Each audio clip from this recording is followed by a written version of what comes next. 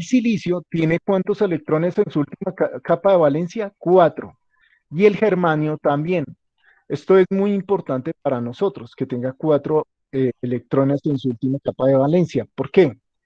Bien, porque el átomo, el átomo viene compuesto de qué? El átomo viene compuesto de un núcleo, y en su núcleo vienen unos elementos que son unos elementos que son muy pequeñitos. Normalmente se trabajan como de color rojo, ¿sí? De color rojo, qué pena. Y hay otros elementos que se trabajan como de color que plateado, ¿sí? Entonces, que son, son dos elementos, ¿sí? Como de plateado.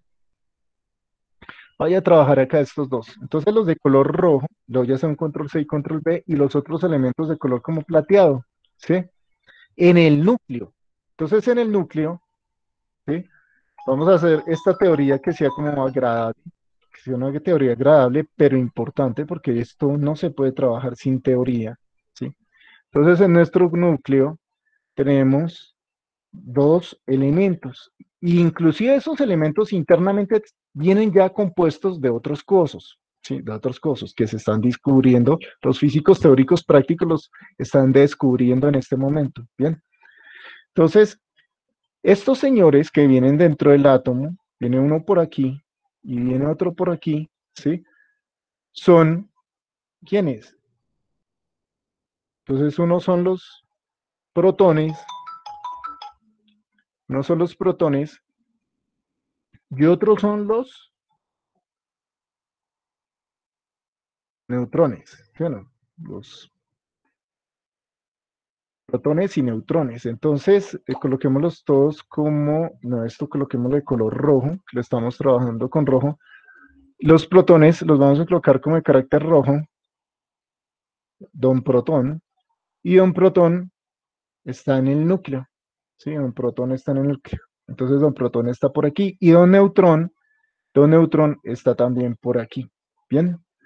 Pero no son los únicos que acompañan aquí al átomo, sino son los únicos que acompañan al átomo. A nuestro átomo lo acompañan varias capas de valencia, que en este momento los voy a simbolizar ovaladas, ¿sí? Van a ser simbolizarse ovaladas.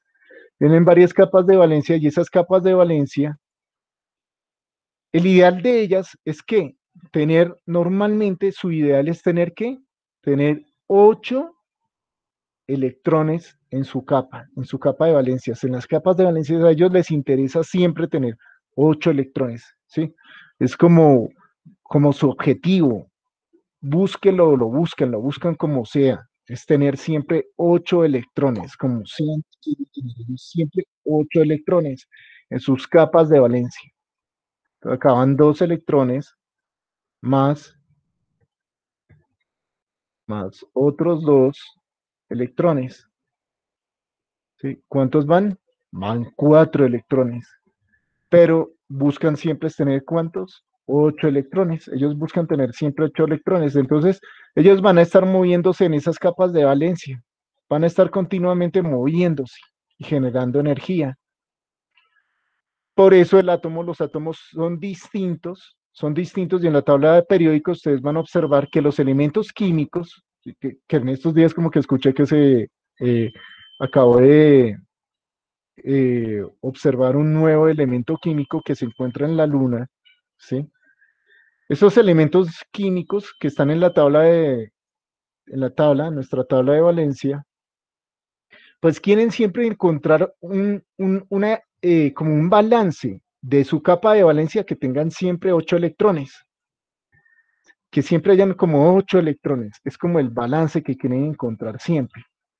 Ahora hay unos elementos, como mostramos en este momento en la tabla periódica, que es este señor, y este señor que ustedes van a jugar mucho con el silicio, con el germanio, van a trabajar mucho con el carbono, que también tiene cuatro elementos, cuatro electrones en su última capa de valencia, y van a trabajar mucho por ahí con el oro, ¿sí?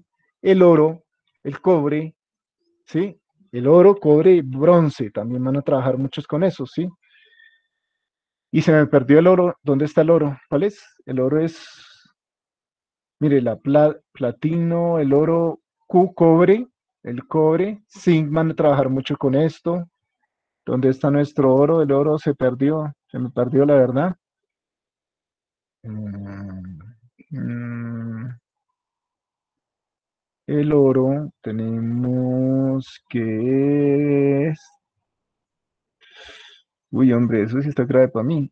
oxígeno, cloro, el oro. El orden, número 79. El AU, hola, el AU. El AU, gracias. Gracias, compañero. Entonces tenemos el AU, ¿cierto? Ese el oro se va a trabajar mucho. Entonces en el oro, ese señor oro, ¿cuántos elementos tiene en su última capa de valencia? ¿Sí? ¿Cuántos electrones tiene? El oro, el cobre, vamos a trabajarlo. El zinc se puede trabajar, ¿sí? Hay otro, otro elemento que se está trabajando últimamente que es el argón, ¿sí? Y el xenón, ¿sí? Argón y xenón. Pero bueno, estos dos, el silicio y el germano, tienen unas propiedades, ¿sí? Que nos ayudan tanto en los electrones y en los electrones se empezaron a ayudar también a hacer unos transistores, ¿sí? Entonces, me voy para este señor, para el silicio y el germanio, y esos tienen cuatro electrones en su última capa de valencia. Tienen cuatro, ¿vale? Estos señores al traerlos aquí, entonces van a tener cuatro, ¿sí? Entonces solo traigamos esta. Y en su última capa de valencia van a tener cuatro elementos. Cuatro elementos, entonces coloquemos lo que me coloqué. Naranja o verde, coloquémoslo también, siguen trabajándose como verde. Entonces tienen cuatro, uno, dos, tres y cuatro electrones en su última capa de valencia y los voy a llevar a esa capa de valencia. Esos cuatro electrones los voy a llevar. Entonces vamos por aquí uno, vamos por aquí dos, vamos por aquí tres y vamos por aquí cuatro. Bien. Entonces tienen cuatro. Listo ahí va una parte. Creo que esa parte está como bien explicada. Ellos tienen cuatro electrones en su última capa de valencia. Entonces un señor, no me acuerdo el nombre del señor en este momento de ese físico, ¿sí? Se empezó como a echar un cabezazo muy bueno, genial. Ese cabezazo que él dijo fue, venga, ¿por qué no hacemos una cosa? Unamos dos elementos químicos, ¿sí? Dos de esa tabla de valencia, un silicio germanio, ¿sí? Y si los unimos los dos, va a crear un enlace covalente entre esas dos vainas, esos dos se van a quedar unidos. Y entre los dos van a estar compartiéndose sus cuatro últimos electrones de valencia, sus cuatro electrones que tienen los va a estar compartiendo con este. ¿Qué va a formar? Van a formar que entre los dos ya tienen en su última capa de valencia, los dos en sus dos últimas capas de valencia, cada uno con su última capa de valencia van a tener ocho electrones y van a estar cumpliendo, ¿sí? Como el balance que ellos tienen, tratan de cumplir siempre, ahí lo van a estar cumpliendo, ¿sí? Entonces ese físico dijo, no, pues hagamos como esto, ¿listo? Entonces sí, señores, ahí se están trabajando ya un enlace donde dos átomos están cumpliendo esos dos átomos eh, su objetivo que buscan, que tengan en sus últimas capas de valencia, tener siempre ocho electrones. Bien. Bueno, esto es como un poquito teórico. Después de eso, ese, ese mismo señor, creo que fue, el mismo señor dijo, ¿por qué no hacemos otra cosa? Entonces, traigamos varios elementos, ¿sí? Pares de ese elemento que es, puede ser el silicio, o puede ser el quién, o puede ser el germanio, ¿sí? Los colocamos en un, como en, un material que esté compuesto solo de silicio, solo de silicio, y vamos a crear un elemento que en este momento es un elemento totalmente que cumple su expectativa de los ocho electrones, o sea que va a ser imposible la conducción en ese elemento, ¿sí? Porque están cumpliendo con sus ocho electrones. Acá hay un par, dos pares, tres pares, cuatro pares, en vez de colocar este, voy a traer de una vez puros pares. Entonces voy a coger esta, control C, control B y empiezo a pegar esto más rapidito, ¿vale? Entonces acá ya cuántos hay, cuántos pares hay acá.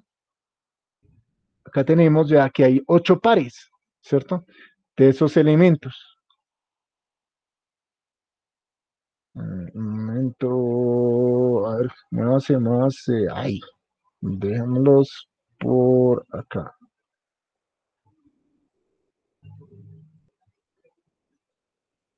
Ahí.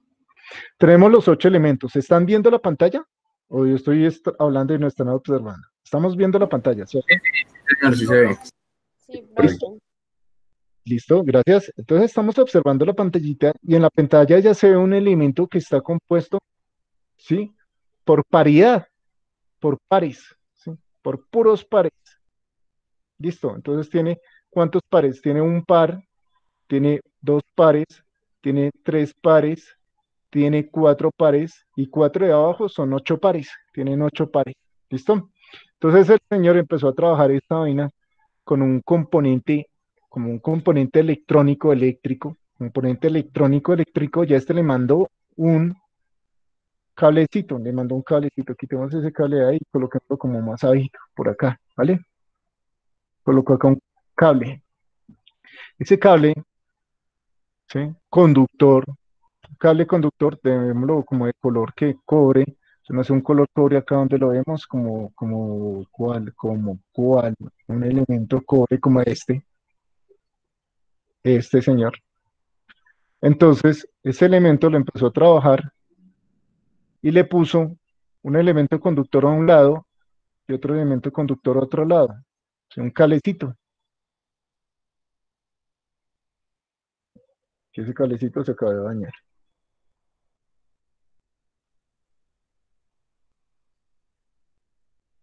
Bueno, dejémoslo así de ancho. Colocó este elemento y otro elemento por allá. ¿Dónde? Por, ejemplo, por aquí. Colocó dos elementos conductores. Bien. Y dijo que cuando trabajaran esos elementos, ¿sí? que, pueden cambiar, estos elementos de silicio y germanio pueden cambiar su estado, su estado, pueden cambiar de sólido a, a líquido y a gaseoso, ¿sí? Hay un elemento nuevo que se está trabajando que viene en un tercer, cuarto estado, ni es sólido, ni líquido, ni gaseoso. ¿sí? Estos pueden cambiar su estado, su estructura, que sea dura, que sea blandita como un líquido, que se vuelva como un gas. Los dijo, pues trabajémoslos y empecemos a eso a qué? A quitarle y ponerle, a quitarle y ponerlo, a hacerlos, a doparlos, vamos a trabajarlos, a quitarle y ponerle qué? una carga. Vamos a quitarle y ponerle una carga, ¿vale? Entonces, si le vamos a quitar y poner una carga, pues aquí el señor dijo que al material que se están inventando, ¿sí? El material, pues no se están inventando, el material que están trabajando en una empresa desarrolladora, ¿sí? Pues le mandáramos una carga, ¿sí? ¿Una carga de qué? Una carga adicional de un electrón.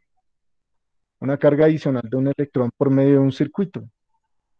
Entonces, ese enlace, que en este momento ese enlace está haciendo que está totalmente estable, o sea que va a impedir la conducción de la corriente, ¿sí?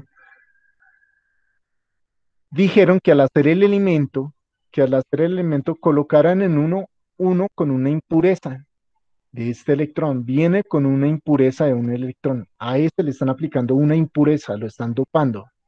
Le vamos a colocar una impureza este señor está impurando, se le está colocando una impureza.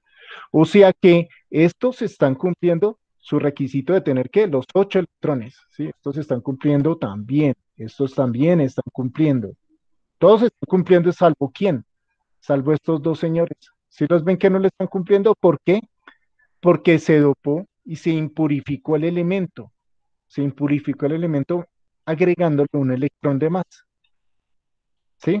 le agregaron un electrón de más. Entonces, ¿qué pasa? Que cuando ustedes le colocan a esto algún tipo de fuente de energía que entregue corriente o que entregue voltaje alterno en el tiempo, o continuo en el tiempo también podría manejarse, alterno o continuo en el tiempo, van a llegar una cadena de qué? Electrones. Una cadena de electrones. Van a llegar una cadena de electrones, pero tenemos un elemento que está siendo impuro. Ya no tiene nueve electrones y tiene, no tiene ocho electrones, sino ¿cuántos? Nueve electrones, tiene nueve electrones. Al tener nueve electrones, ese señor, al tener nueve electrones, pues para ellos, ¿qué es más fácil? ¿Perder un electrón o perder los ocho que tiene? ¿No? Para ellos es más fácil jalar ese electrón que tiene, lo jalan acá. Jalamos el electrón Y este electrón que está por aquí, ¿cierto? Que está en el circuito, en la fuente de energía que nos está entregando, este señor electrón, ¿qué va a hacer? Va a ingresar al circuito, va a ingresar no al, no al circuito, sino al material. Va a ingresar al material aquí, va a ingresar a este señor que estaba impuro primero, ¿cierto? Porque el voltaje es voltaje, fuerza electromotriz, una diferencia de potencial.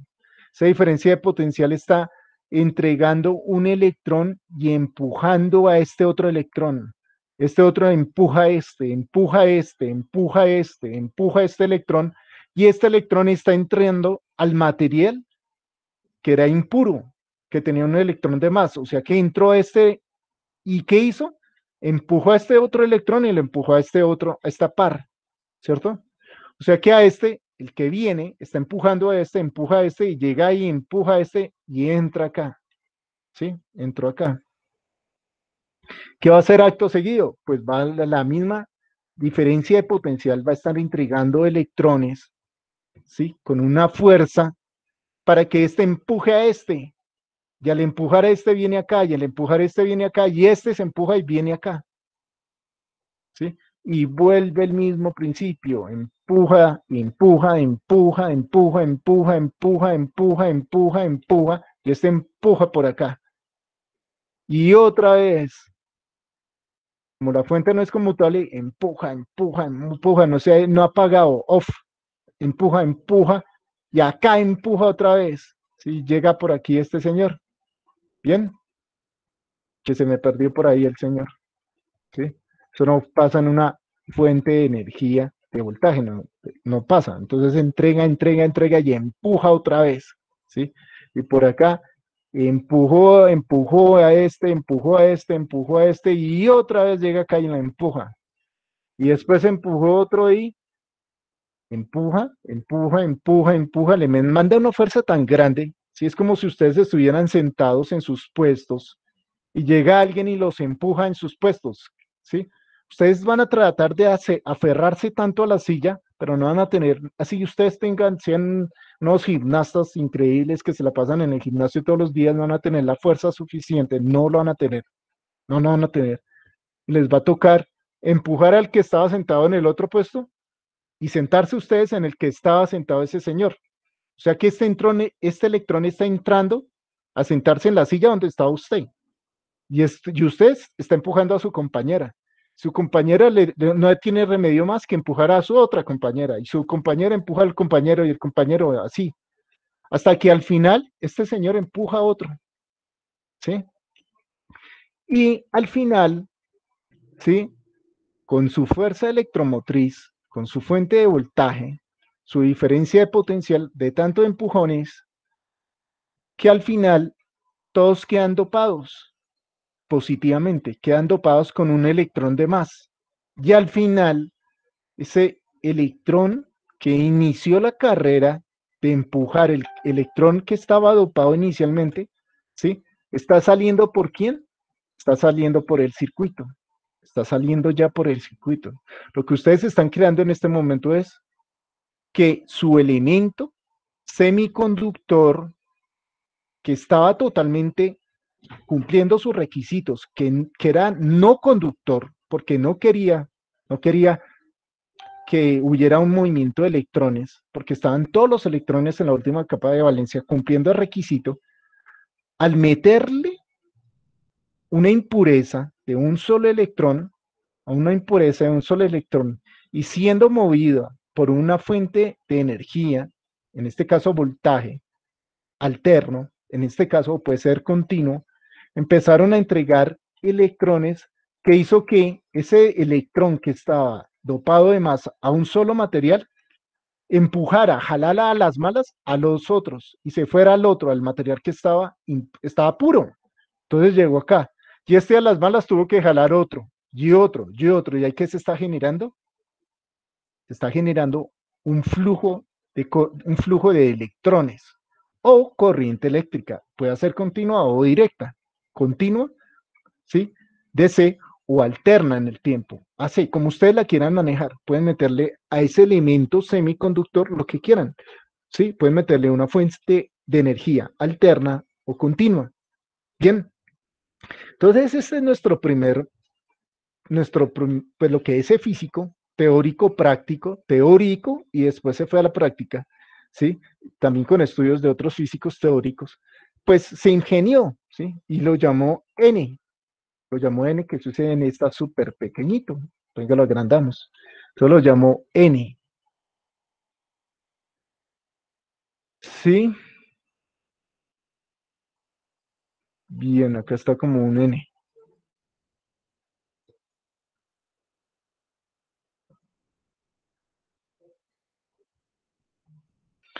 Ahora, ¿ahora qué?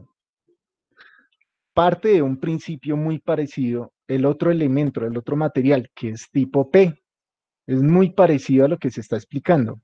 Traten, traten de sacarlo ustedes como físicos teóricos, porque el ingeniero electrónico, el técnico electrónico, el técnico, tecnólogo electrónico, es un físico que conoce la teoría, pero la aplica, es un físico teórico práctico. Ustedes van a ser físicos teóricos prácticos. ¿sí?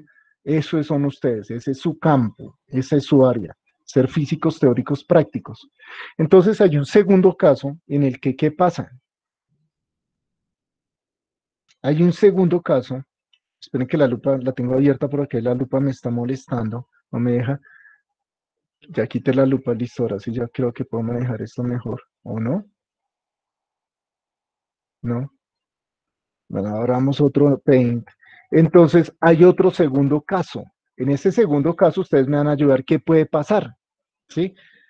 Si yo acá, a ese eh, producto inicial, que estaba compuesto de una paridad, que tenían ocho, le metí uno de más, pues el segundo caso que ustedes pueden diseñar, futuros físicos, teóricos, prácticos, que pueden hacer, en vez de meter ocho, ¿qué podríamos hacer? En vez de poner uno de más, impurificar el, el elemento, el material, colocando un electrón de más, ¿qué podríamos hacer? Perdón, disculpen. ¿Qué podríamos hacer en nuestro segundo caso? No poner, no vamos a poner, sino vamos a hacer lo contrario se dieron cuenta, pues hagamos la otra. No solamente pongamos. ¿Cuál puede ser la otra? Entonces, ¿cuál podría ser la otra, compañeros? En este caso, ¿cuál podría ser la otra? Quiero que me ayuden. Acá estamos poniendo un elemento de más, un electrón de más. En el otro caso, ¿qué vamos a hacer?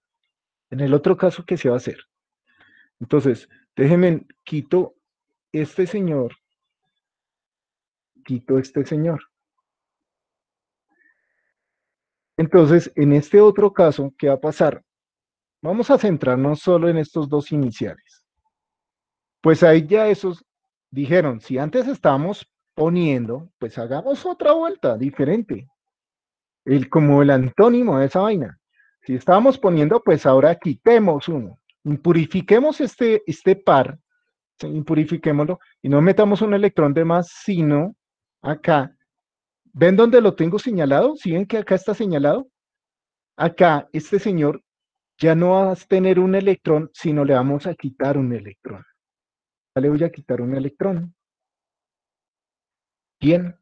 Entonces lo voy a colocar como con un estado de qué color. Bueno, rojo normalmente es cuando hay de más y negro es cuando hay de menos. Entonces en la explicación anterior todo es rojo. Negro es cuando hay un hueco. ¿sí? Negro es cuando hay un hueco. Para hacer la diferenciación lo voy a colocar como azul. Entonces, este señor es un hueco que no tiene un electrón, no lo tiene, es un hueco.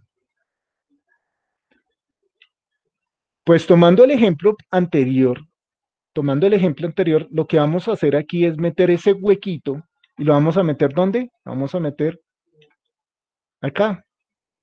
Ese huequito lo vamos a meter acá. ¿Sí?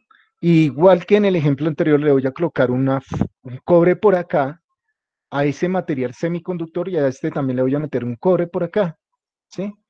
Entonces, todos están cumpliendo, todos los elementos pares están cumpliendo su, su nivel de última capa de valencia, que es que tratar de tener los ocho electrones, porque se están combinando. Pero estos dos son los antisociales. Ellos dijeron, no, no vamos a hacerlo. No, señor, no se va a hacer eso. Dijeron, no.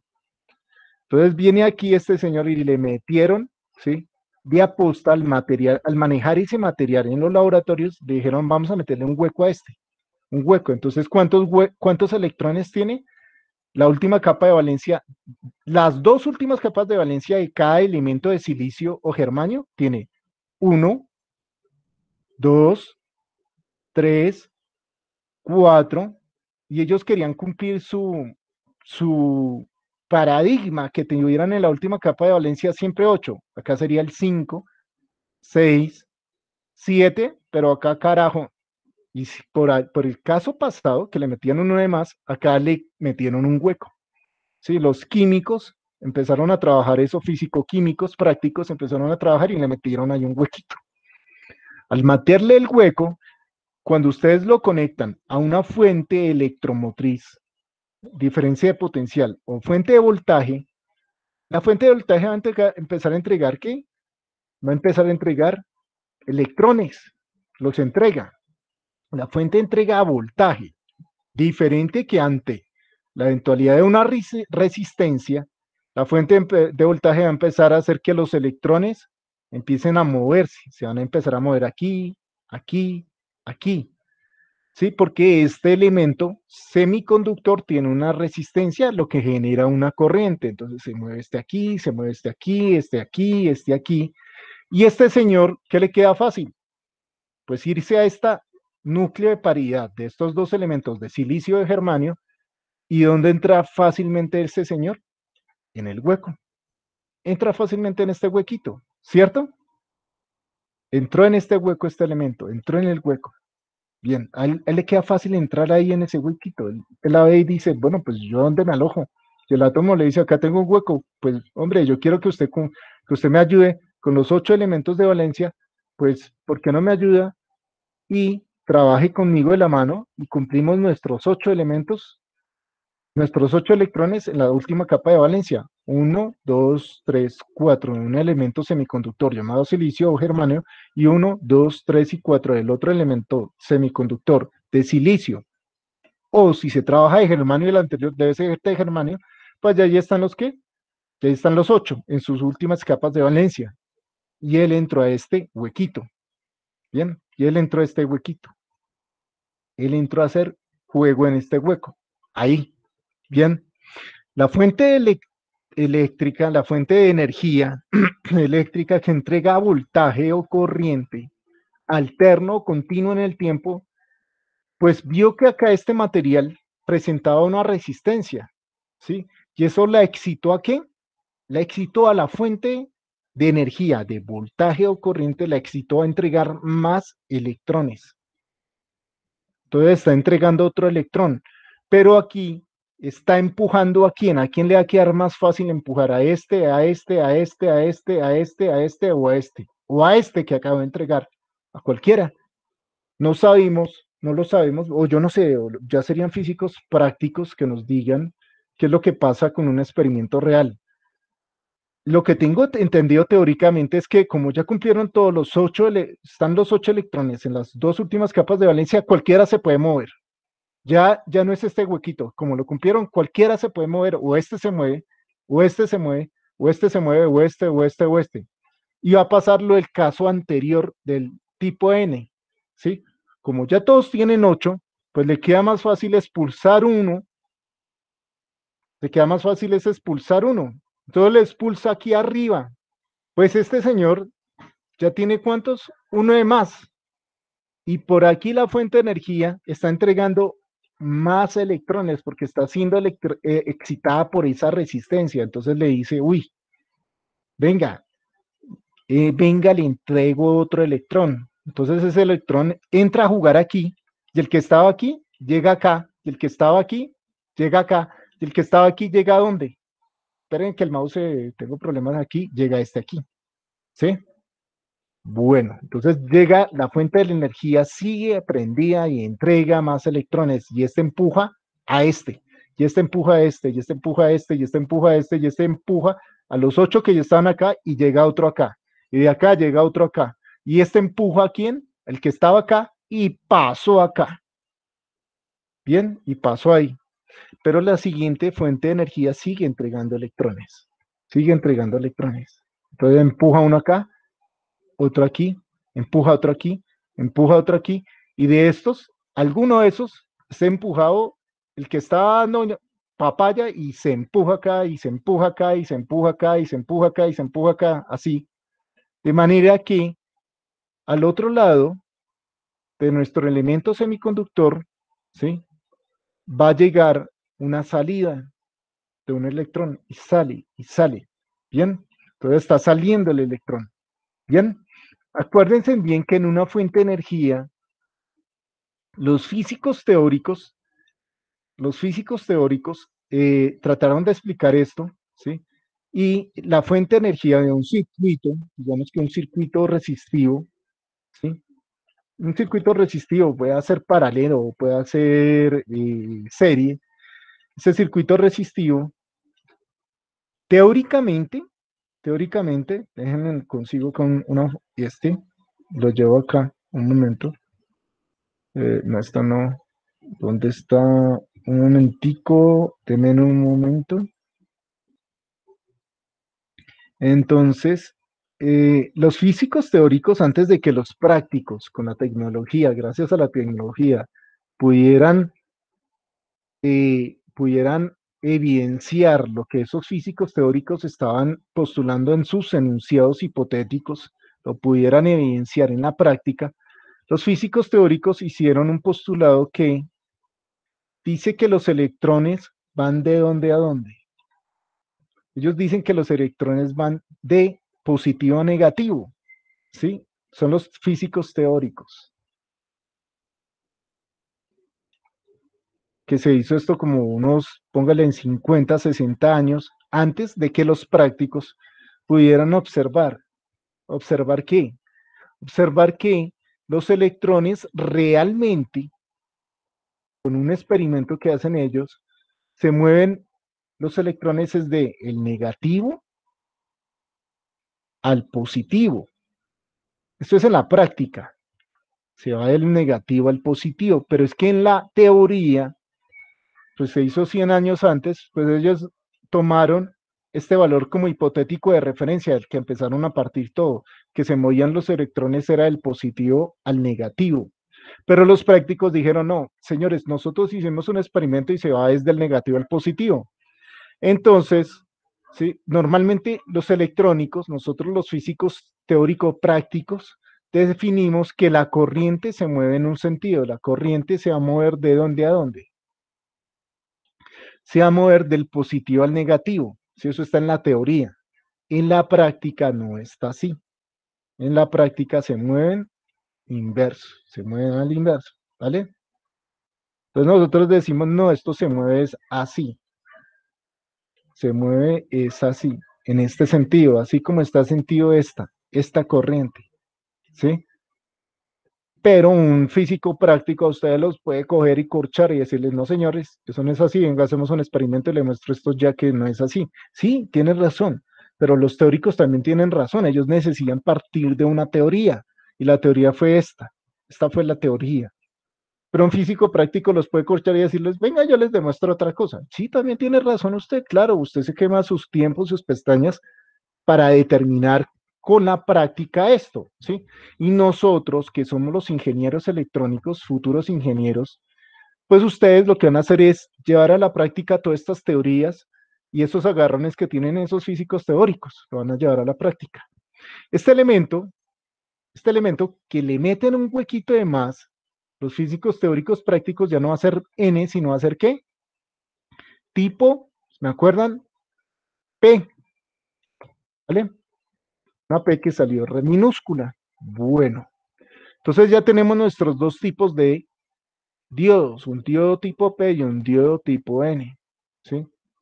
Y siempre va a generarse una barrera. Entonces, por aquí volviendo a este caso, va a haber una barrera, una barrera que este diodo, es, bueno, que este elemento con semiconductor, ¿sí? Este elemento semiconductor, vuelvo a la gráfica anterior al otro paint, vuelvo al otro paint, Vuelvo al otro paint, ¿dónde está acá? ¿Dónde tengo el otro paint? Aquí. Eh, ¿Dónde está el otro paint? Eh, esperen, busco el otro paint, ¿dónde está? El, este N, ¿cierto? Y acá yo estaba explicando al inicio cómo era que funcionaban esa enlace covalente, ese enlace esa biparidad de silicio, de dos elementos de silicio es dos elementos de germanio. Bien. Entonces, estos van a tener, van a tratar y a usted le van a poner una barrera, le van a poner un muro, ¿sí? Para impedir que se genere una electricidad ahí. Van a poner una barrera. Van a poner esta barrera que estoy poniendo aquí en el diodo. A haber una barrera. Esa barrera. Y esa barrera depende del elemento semiconductor que se haya diseñado en los laboratorios prácticos, ¿sí? Esa barrera puede variar, es una barrera que puede variar de cuánto a cuánto. Esa barrera puede variar de cuánto a cuánto. Hay unos elementos que les puede variar con 0.7 voltios. Esa barrera puede romperse al cabo de después de cuánto? De 0.7 voltios. Es una barrera para unos elementos. Para otros puede ser de 0.3 voltios. ¿Sí? Un elemento eh, tipo ¿quién? Un elemento tipo silicio maneja normalmente el 0.7, alrededor de un 0.7, no es, no es exacto, alrededor de un 0.7, 0.6 voltios, para que le ingresen a esa barrera y borre este muro. Lo borran. Ahora otros manejan un 0.3 para que usted ingrese esta barrera y al ingresar borra esa barrera. Bien, ¿listo? Y al borrarla, allá puede hacer que, siendo NOP, siendo un elemento NOP, ¿sí? Empieza a poder, ese electrón que está llegando de más, ese electrón que está llegando de más aquí, a poder moverse en ese enlace bipar, biparidad de átomos de silicio o de germanio. Entonces, si es de 0.3, podría ser de germanio, y empieza a romper esa barrera para que pase al otro lado. 0.3 y la rompe por allá. 0.3 de germanio y la rompe. 0.7 y rompe ese muro. O sea que nuestro material, que no era conductor, que no era conductor, está cayendo a los brazos de quién? Está cayendo a los brazos de la fuente de energía él está diciendo, usted tan solo con que me dé 0.3 grados de alcohol, puede hacer que pase el electrón. O si me da 0.7 grados de alcohol, puede ser que pase su electrón. Bien. ¿Quién no entendió hasta ahí cómo es un elemento semiconductor y cómo es como el modelo teórico de ese concepto? ¿Sí lo entendimos ahí? ¿Hasta ahí vamos bien? Sí, sí, señor. Bien, bueno, entonces, no, es que esos tienen un grado de alcohol máximo que pueden, que pueden, el elemento semiconductor tiene un grado de elemento máximo que puede alcanzar y que después de eso ya pierde la conciencia y haga lo que quiera conmigo, ¿sí? Entonces, uno es de 0.3 grados de alcohol y el otro es de 0.7 grados de alcohol. Bien, bueno, listo. Entonces observamos que hay una barrera de potencial la conciencia Señor. Profe, una pregunta. Sí. Te escucho. ¿Qué pasa si, pues, el de silicio llega a sobrepasarse del 0.7 o el de germanio llega a pasarse al 0.3? O sea, no entraría en funcionamiento. No, no, no, pasa lo contrario. Tú estás, llegas sana al bar, estás tranquila en el bar, ¿sí? Entonces tú tienes un límite de trago si tú, dices, si me dan más de 0.7 grados de alcohol, empiezo a conducir corriente. Paja, empieza a jalar la corriente. ¿sí? O sea que deja pasar los electrones. ¿sí? Y hay otro que es el germanio que dice, si tú, yo tengo un grado de alcohol más pequeñito, si usted me da más de 0.3 cervezas, más de 3 cervezas, yo ya quedo borracho. Ya quedo borracho y empiezo a usted puede hacer, pierdo la conciencia. Bien, entonces acuérdense, la cerveza máxima que soporta el silicio, ¿cuánto es? Siete cervezas. Las cervezas máximas que soporta el germanio son tres cervezas. O sea que con dos cervezas el germanio no deja pasar los electrones. Con dos cervezas. Con una cerveza el germanio dice, no señores, no pasa nadie. Con 2.9 cervezas, germanio dice, no, no, no, no, no, no, señores, no dejo pasar a nadie. ¿Sí? Pero ya después de tres cervezas, el señor Germanio está botado en la esquina y deja pasar al que quiera. Bien, al electrón que quiera. Pasa lo mismo con el silicio, sino que ese tiene como un poquito más de fuerza. Entonces dice, cinco cervezas, acá no pasa nadie. Seis cervezas, no va a pasar nadie. Sí, sí, pero ya me acordé. Dejo activación, que tiene que llegar al punto exacto para poder pasar, listo, ahí cuando tú tomas la mejor dicho, yo como Rolo, cuando yo tomo una cerveza, ya después de una cerveza, ese es mi punto final, ya estoy botado, ¿sí? Pero el, el silicio es, es que como que es el más durito para tomar, entonces él dice, a mí me da seis cervezas y yo de ahí no paso, yo no paso porque no quiero dejar pasar mis electrones que están bien puestos en mis capas de valencia. Si le das siete, siete electrones, ya, ahí murió el silicio. Si le das tres, tres cervezas, murió el germanio. ¿Sí? Entonces, siete cervezas, tres cervezas, siete cervezas y tres cervezas, y ya se acuerdan de esta vaina, ¿vale? Para que, para que este señor pueda ser un elemento conductor y para que este señor pueda ser un elemento conductor, o para que este señor se mantenga firme y diga no va a pasar nadie, y el germanio se mantenga firme y diga no va a pasar nadie. Bien, eso es lo que necesitamos. Siendo un elemento N o siendo un elemento Alguno de estos dos casos, o este o este. Bien. Bueno, eso es como la explicación de un diodo, es como la explicación de un diodo y ahí también de un transistor, porque el transistor está compuesto de diodos. Bien, entonces si ustedes dicen, no, ya me explicó transistor esa teoría, sí, pero es que el transistor viene compuesto de dos materiales, NPN o PNP. ¿Sí? Entonces, un transistor es PNP o NPN, empezaron a sumar, ¿sí? Ah, dijeron ya después, ah, bueno, yo metí huecos, metí huecos o metí suma de electrones, pues ¿por qué no cojo un material P, lo sumo a un P y en la mitad le meto un N? Y después dijeron, no, pues metamos un N, un N y en la mitad le meto un P. Empezaron a hacer sumas para transistores sumas. Bien, listo. Hasta ahí vamos bien, hasta ahí vamos bien. ¿Listo? Entonces abro un tercer paint. Y en mi tercer paint que abro, ¿qué va a pasar? En mi tercer paint que abro,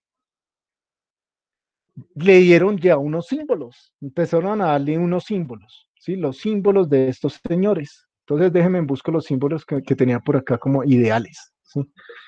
Bien, empezaron a tratar unos símbolos no, pero estos ya son como los puentes de Dios. Entonces, pues el símbolo, ¿el símbolo cuál sería? ¿El símbolo cuál sería? Entonces, un momentico donde está herramientas de recorte, herramientas de recorte y vamos a tomar este símbolo. Este es nuestro símbolo. Dijeron, pues hagamos este símbolo como el ánodo del, del, del diodo. Hagamos este símbolo de quién? Del señor diodo. Este va a ser nuestro símbolo del señor diodo, ¿vale? Bien, este va a ser el símbolo del señor diodo. Bien, pero el señor diodo conduce o no conduce, dependiendo de si ustedes le dan mucha cerveza o no. Sí, si le dan mucha cerveza o no. Entonces eso depende, eso depende de la cerveza que le den al diodo para que conduzca o no conduzca, ¿vale? Eso depende de la cerveza que le demos a este señor, ¿bien? Ella tiene que determinar cuál es el grado máximo que a ustedes les aguanta a quién, el grado máximo que les aguanta el elemento, ¿sí? Pero deben saber que eso es a punta de cervezas que lo pueden romper, ¿sí? A este señor lo pueden romper a punta de unas cervezas. Cátode, cátode, ah, sí, ahí me ayudó esto, ¿vale? Cátode. Ahí, ahí, ahí le ayudó, ahí le ayudó.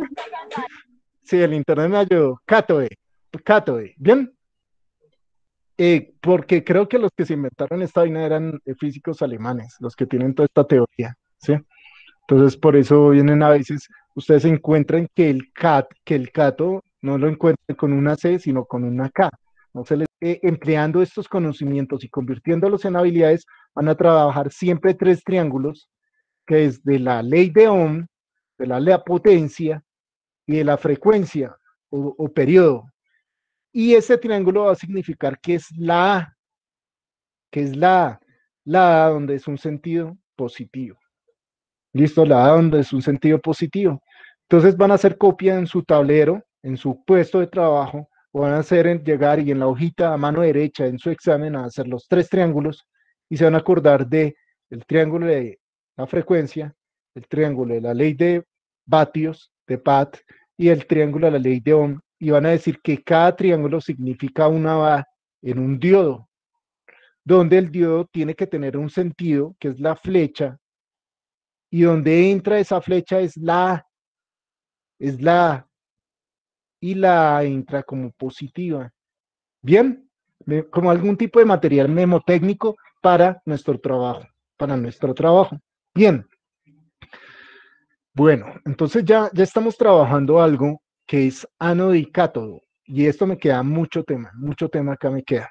Entonces, estos señores, los físicos teóricos, que después empezaron los prácticos físicos teóricos y después los prácticos a trabajar estos en elementos ya prácticos para que ustedes los ingenieros, técnicos y tecnólogos electricistas y electrónicos pudieran empezar a trabajar esto con, con circuitos. Entonces trabajaron y empezaron a trabajarlo en la práctica, empezaron a trabajar en la práctica y trajeron este señor por aquí, trajeron este señor por aquí. Trabajamos este señor por aquí. Entonces, al traer este señor por aquí, vamos a empezar a hacer nuestro primer circuito práctico, teórico y de la teoría a la práctica, ¿cierto? Entonces vamos a empezar a ver cómo está generándose acá quién la corriente, cómo se está generando la corriente, donde no tengo un símbolo de corriente por ahí, yo tenía un símbolo de corriente, en unos de mis pain había un símbolo de corriente, símbolo de corriente, no hay un símbolo de corriente, una I, yo tenía una I por ahí. ¿Dónde está la I?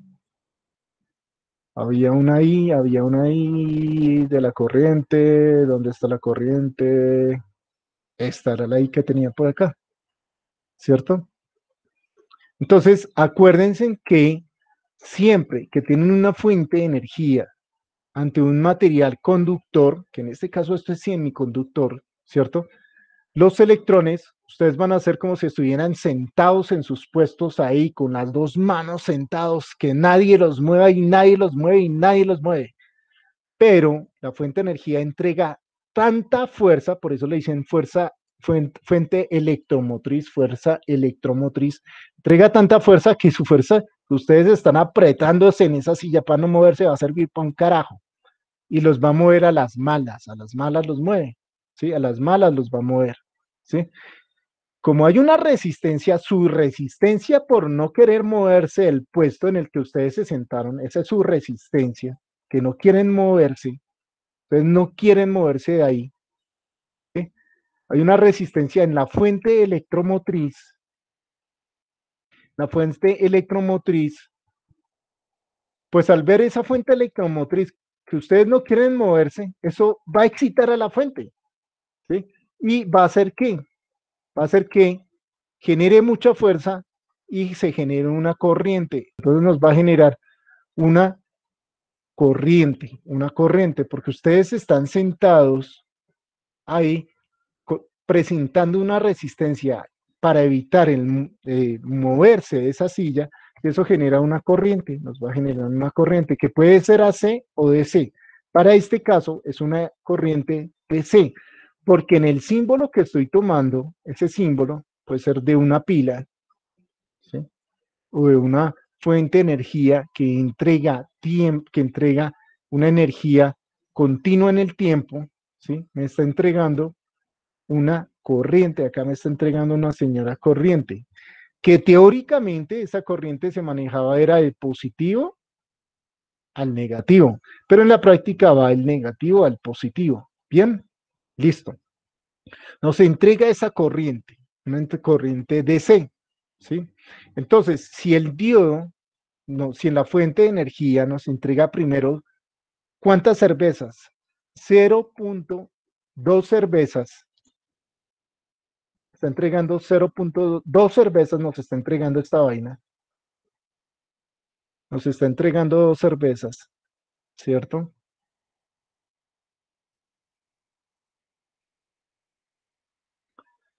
Continuas en el tiempo, ¿sí? Entran por aquí y las deja seguir.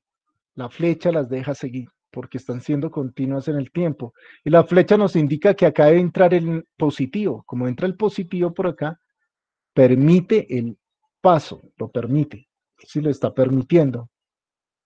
Con dos. Hay un punto de saturación, dependiendo del elemento, que si es después de tres o si es después de siete, que rompe esa barrera.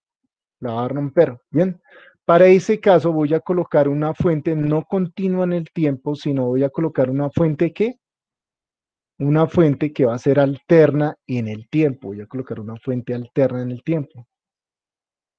Entonces mi fuente alterna en el tiempo va a entregar voltaje, que me va a entregar un voltaje alterno en el tiempo. Me va a estar entregando alterno en el tiempo. Bien, me va a entregar un voltaje alterno en el tiempo esta señorita. ¿Sí? ¿A quién? a mi diodo, a mi diodo, me va a entregar una fuente alterna en el tiempo. Pues entonces estoy pausándola aquí en este punto, la estoy pausando aquí en este punto. Entonces entran 120 voltios, entran, entran acá. Lo permite porque el ano era un sentido ¿qué? Positivo. Hemos dicho que el ano era positivo. Por acá lo tenía, ¿cierto? No estoy mintiendo, era positivo. Era por aquí positivo este señor. Entonces nos permite que cuando yo pause eso, que estaba en su momento máximo, siguieran entrando los 120 voltios. Acá en 120. Otra vez, al arrancarla, la arranqué con cuánto? Con 0 voltios. 0 voltios. O sea que cuando la pausé, cuando la pausé ya no es una fuente alterna, sino una pausa al inicio, es 0 voltios, pues los va a dejar entrar esos 0 voltios. Siguen entrando. Bien. Otra vez llega por aquí, entonces ya digamos que está cayendo, cayó a la mitad, entonces cayó a cuánto? A 60 voltios. No, 120 voltios, sino 60 voltios en la siguiente pausa. Entonces en la siguiente pausa siguen entrando cuánto? Siguen entrando 60 voltios. Siguen entrando aquí, se permite el ingreso de 60 voltios. Porque sigue en el sentido positivo, 60 voltios, ingresan ahí. ¿Listo? Ahora, hay un momento en el que llegó a qué? Otra vez a cero, o sea que 60 estaba por aquí. Entró otra vez cero. ¿Se permite? Sí, se permite ese señor. Pues son cero voltios, ¿sí? Se permiten. Se permite que trabajen esos cero. Entonces se permiten, en este momento que cae la onda, se permite que sigan funcionando cero voltios. Bien siguen funcionando 0 voltios. Pero acuérdense que esto ¿sí? lo estamos pausando y venía una fuente alterna en el tiempo. Entonces llegan ya los elementos que son negativos. Llegan ya los elementos negativos a trabajar esta vaina. Empiezan a trabajar los elementos negativos. ¿Sí? Entonces, hacerle pausa, pero ya no en 0 voltios, sino digámoslo que en menos 0 digamos que en menos 0, ¿qué? 0.4 menos 0.4, ¿sí? Voltios. ¿Qué va a pasar ahí? ¿Esto qué va a pasar? ¿Sí? Yo le hago pausa ahí en ese momento, o sea que la fuente de energía continua que yo le estaba, al pausarla es como si fuera una fuente de energía continua, ¿sí? Ya no va a trabajar en este sentido que estaba, sino va a trabajar como si fuera volteada. Ya no va a estar entregando primero una, un elemento positivo, una, una diferencia positiva, de potencial positiva, sino entregarlo primero es una diferencia de potencial negativa, la está entregando la negativa. Le entrega la diferencia de potencial negativa como primer producto, está entregando este menos 0,4 voltios. Al hacerle el pausa, al hacerle pausa nuestra fuente de energía que entrega energía continua en el tiempo. Entonces, energía alterna en el tiempo. Le hicimos pausa y entregó cuánto? Un voltaje negativo, es como si esta fuente se hubiera volteado. Entregó menos 4, entra menos 4 y acá es permitido el ingreso de menos 4. Pregunto, ¿es permitido o no? Me van a responder todos. ¿Es permitido que ese menos 4 entre acá? ¿Que esto entre aquí? ¿Esto se permite o no se permite? No, si estuviera No. en función inversa, tal vez. En función inversa sí trabajaría. Ah, bueno. Bueno, a ver. Bueno, bueno, vamos por partes. Listo, por partes. Eh, ¿tu nombre es cuál? Es, eh, ¿con quién hablo? La señorita que acaba de hablar Era Laura, profe. Laura, muy bien, Laura. Laura. Sí, Laura, bien, muy bien tus conceptos técnicos que tienes. Muy bien. Entonces, acá entra un voltaje negativo, ¿sí? Que al hacerle pausa es como si funcionara una fuente, una fuente de poder continua, pero como es negativa va a ser así, no es positiva, así no, no, es así. Entonces entra a funcionar acá, pero el ánodo no va a dejar pasar eso, no lo va a dejar pasar. ¿Por qué? Porque en el ánodo tienen que entrar elementos positivos, no permite el ingreso de elementos negativos, ¿sí? O sea que después cuando tenga el máximo, digamos de 0,4 al máximo que sean menos 120 voltios de esa onda negativa, ¿sí? Le hago pausa, ¡pum! Pausa esta vaina, pausa, pausa. Entonces ahí está pausada esta vaina. Llegan menos 120 voltios que lo máximo, ¿sí? En, en la parte negativa. Entonces se va a convertir como si fuera una fuente continua inversa. Entregar lo primero es el negativo. Empieza a entregar eso negativo por acá, le empieza a entregar negativo y aquí permite el ingreso de esos menos 120 voltios o no al circuito. No, no los permite, no los permite ese ingreso, ¿cierto? No permite el ingreso. Bien. Llega por aquí, esta parte se pausa, esta parte se pausa, esta parte, esta partecita que tengo aquí se pausa, pero también es negativa, no se permite el ingreso de eso, ¿sí? Hasta que se vuelva a qué? Otra vez se vuelva a repetir la frecuencia o el periodo de oscilación de esta onda y sea otra vez un ciclo positivo. Y ahí sí la va a dejar pasar. O sea que si yo veo la gráfica de esto, si yo veo la gráfica de esto, ¿cómo va a comportarse la gráfica en un eje de coordenadas cartesianas? ¿Cómo se va a comportar esto? Esto se va a comportar la salida de esto. ¿Cuál va a ser? La salida de esta vaina, esta va a ser la salida. Este punto que tengo aquí va a ser mi salida. Este punto que tengo aquí va a ser mi salida. Esta es mi salida, que yo estoy colocando una onda, una sonda de un osciloscopio aquí en este punto y la comparo frente a quién, a una diferencia de potencial para ver, para observar mi sonda, la otra sonda, la otra sonda debe ser la negativa, entonces yo coloco mi osciloscopio con una sonda positiva y negativa en estos dos puntos y empiezo a medirlas en el tiempo. Y primero me encuentro esta, esta onda que está permitiéndose trabajar, esta parte de la onda sí se está permitiendo trabajar, pero después en el plano cartesiano que me muestra mi osciloscopio, en el plano cartesiano que me muestra mi osciloscopio, ¿qué va a pasar? ¿Qué va a pasar? Que en mi osciloscopio va a mostrarse algo así. Vengan, me lo permiten y veo esto. Entonces, déjenme esto momentico. Hago acá la onda. Acá hago la onda. La onda que está entrando al diodo, antes del diodo, está entrando así. Hay una onda que entra así antes del diodo. Y va a haber una onda de salida.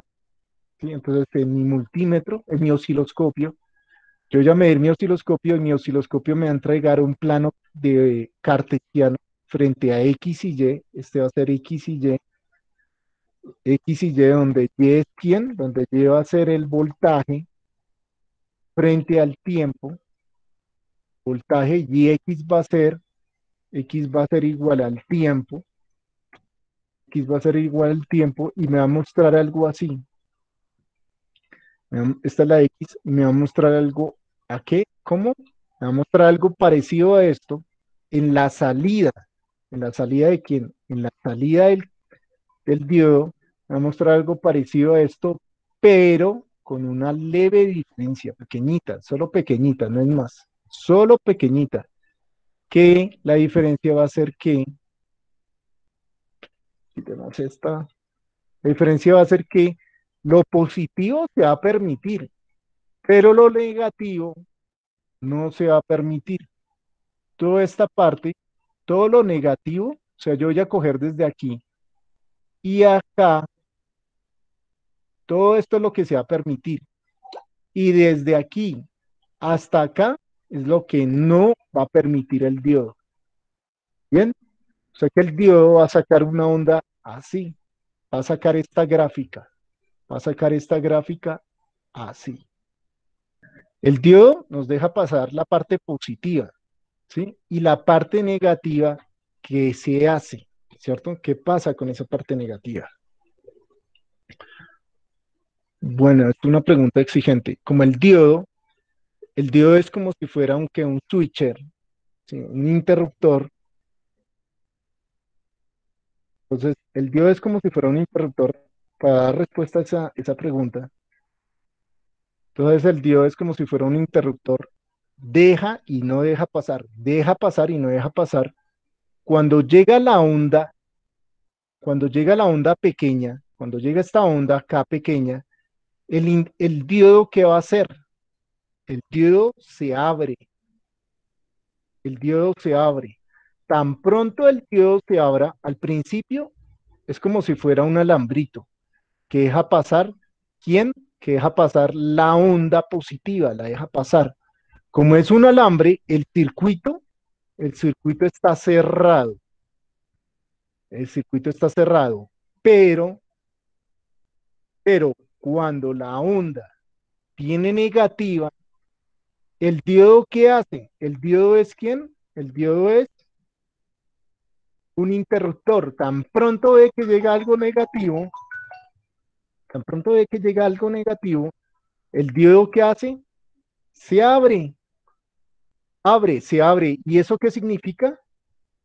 Significa que esto se abre, ahí es como si se abriera, y ahí qué hay, ahí qué hay cuando está la onda negativa, ¿qué hay? ¿El circuito está cerrado? El circuito queda abierto como el circuito está abierto, no va a haber un retorno, no va a haber un retorno, el circuito se abre y no va a entregar esa energía a su diseño que plantean, diseño que ustedes plantean. Si desean plantear un diseño con una resistencia, si acá le pusiéramos una resistencia, aquí en este punto le pusieron una resistencia, pues entregaría una corriente, ¿cierto? Entregaría una corriente, esa fuente de voltaje entregaría una corriente. Si acá le pongo una resistencia, pero esa resistencia solo funciona, la corriente solo funciona si el interruptor está cerrado. Si acá este señor se cierra. Si no se cierra, si no se cierra, ¿qué pasa? Pues no hay corriente. Entonces, el circuito está abierto. ¿Qué es lo que pasa? Como el circuito está abierto, pues esta onda no puede pasar a ningún lado a, generar una corriente, a generar un, diagrama de corrientes, voltajes futuros, porque el circuito está abierto. El circuito está abierto. Eso que, esa pregunta que me hiciste, esa pregunta que me acabas de hacer, nos puede llegar a una conclusión. ¿La conclusión cuál es? Es esta vaina, esta es la conclusión. Funciona como un interruptor, ¿sí? que ante unos casos permite y ante otros casos no permite. ¿Sí? Entonces, deja pasar, sí, deja pasar la señal cuando está en su sentido positivo. Y cuando está en su sentido negativo, inverso al sentido de esta flecha, está inverso al sentido de la flecha, se abre el interruptor y no deja pasar nada. No deja pasar nada a quién? al circuito que ustedes tengan más adelante. ¿Sí? Entonces, si este circuito está compuesto por quién? Por una resistencia.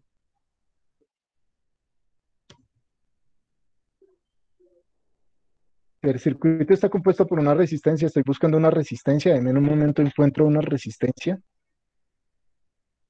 Cojo una resistencia, si este circuito está compuesto por esta resistencia que estoy trayendo de acá, ¿bien?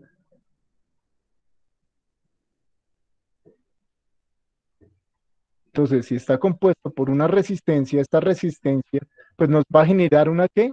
Va a generar una corriente alterna o continua en el tiempo, dependiendo de lo que ustedes trabajen aquí, dependiendo de la, la fuente de voltaje que se esté trabajando. Acá está cerrado el circuito. Sí, señores, aquí está cerrado el circuito. Acá está cerrado este circuito. Solo si, solo si la fuente de voltaje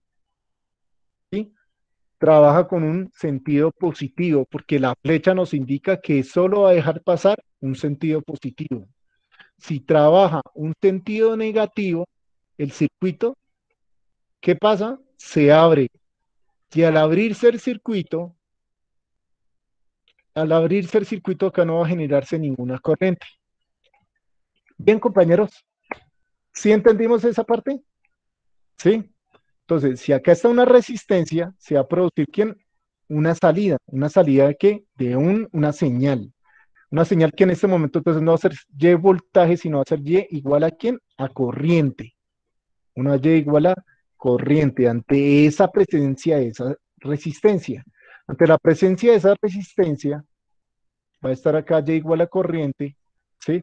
Y solo va a dejar pasar, va a hacerse una señal de corriente que va a ser alterna en el tiempo, solo con los semiciclos del área positiva de nuestra señal, del área positiva, del área bajo la curva positiva, ¿sí?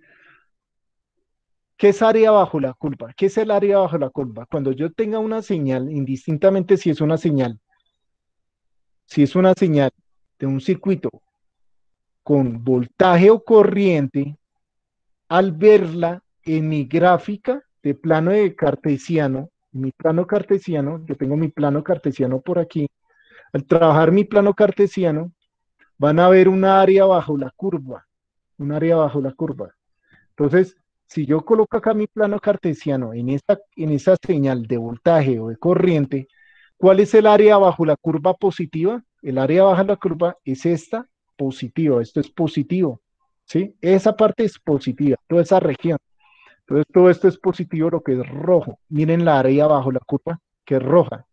Ahora, ¿cuál es la área bajo la curva negra? Es esta, que es negativa. Entonces, esta área bajo la curva que es positiva, el área bajo la curva positiva, el área bajo la curva, el área positiva es la que permite trabajarse en un diodo de acuerdo a su sentido de flecha. Bien. Sí, respuesta a la pregunta que me, que me, que me realizaste, compañero. Eh, sí, señor, muchas gracias.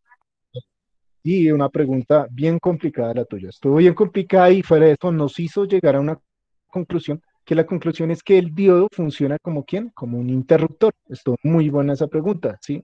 El, el diodo funciona como un interruptor. Un interruptor que permite que haya un flujo o no flujo de la señal, que después más adelante usted la va a trabajar con quién? Con una resistencia o no la va a trabajar con una resistencia. Listo. Eso ya depende de su diseño que usted haga, del diseño que, que usted haga. Pero va a permitir o no va a permitir. Es un interruptor que va a permitir o no va a permitir. Esto es un interruptor. ¿Sí? Entonces, la conclusión es que es un interruptor. ¿Sí? Bien, un interruptor. Pero ese interruptor tiene una pérdida de la señal, una pérdida de voltaje. Si él dice, yo después de 0. de 7 cervezas, ¿sí? yo dejo pasar.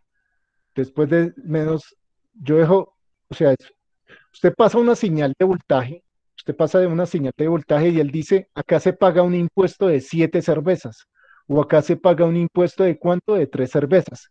Entonces, si mi señal de voltaje fuera de cuánto, de 120 voltios AC, si mi señal de voltaje fuera de 120 voltios AC, hay que pagarle el impuesto al interruptor, hay que pagarle el impuesto al interruptor.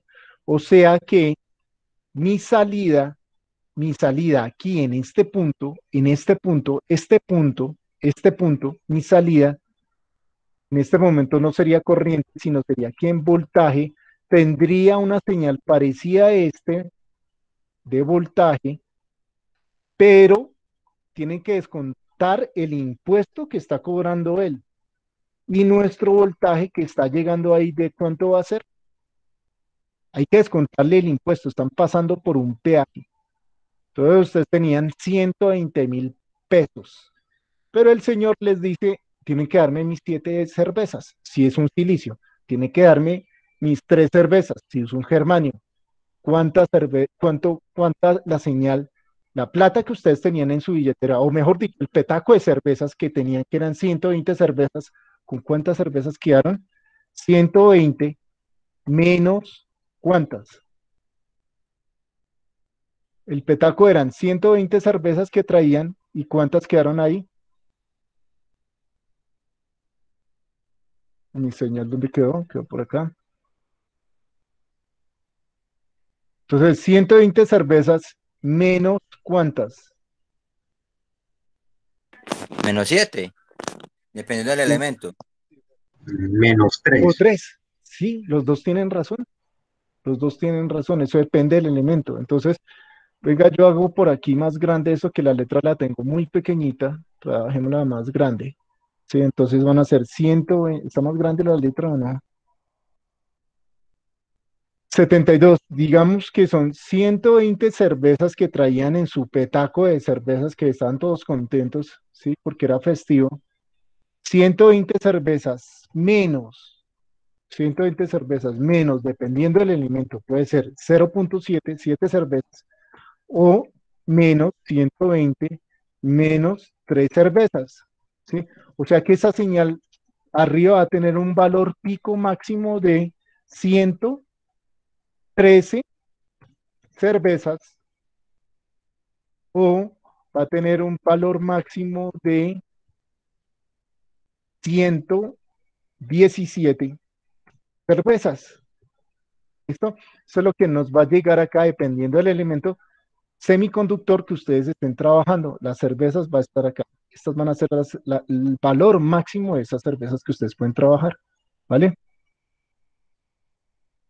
Bien. Porque hay que pagarle un peaje, hay que pagarle un peaje al interruptor. El interruptor no se está poniendo ahí gratis. Él dice, yo trabajo por algo, y yo trabajo son por cervezas. Esas cervezas que me tienen que pagar son cuántas?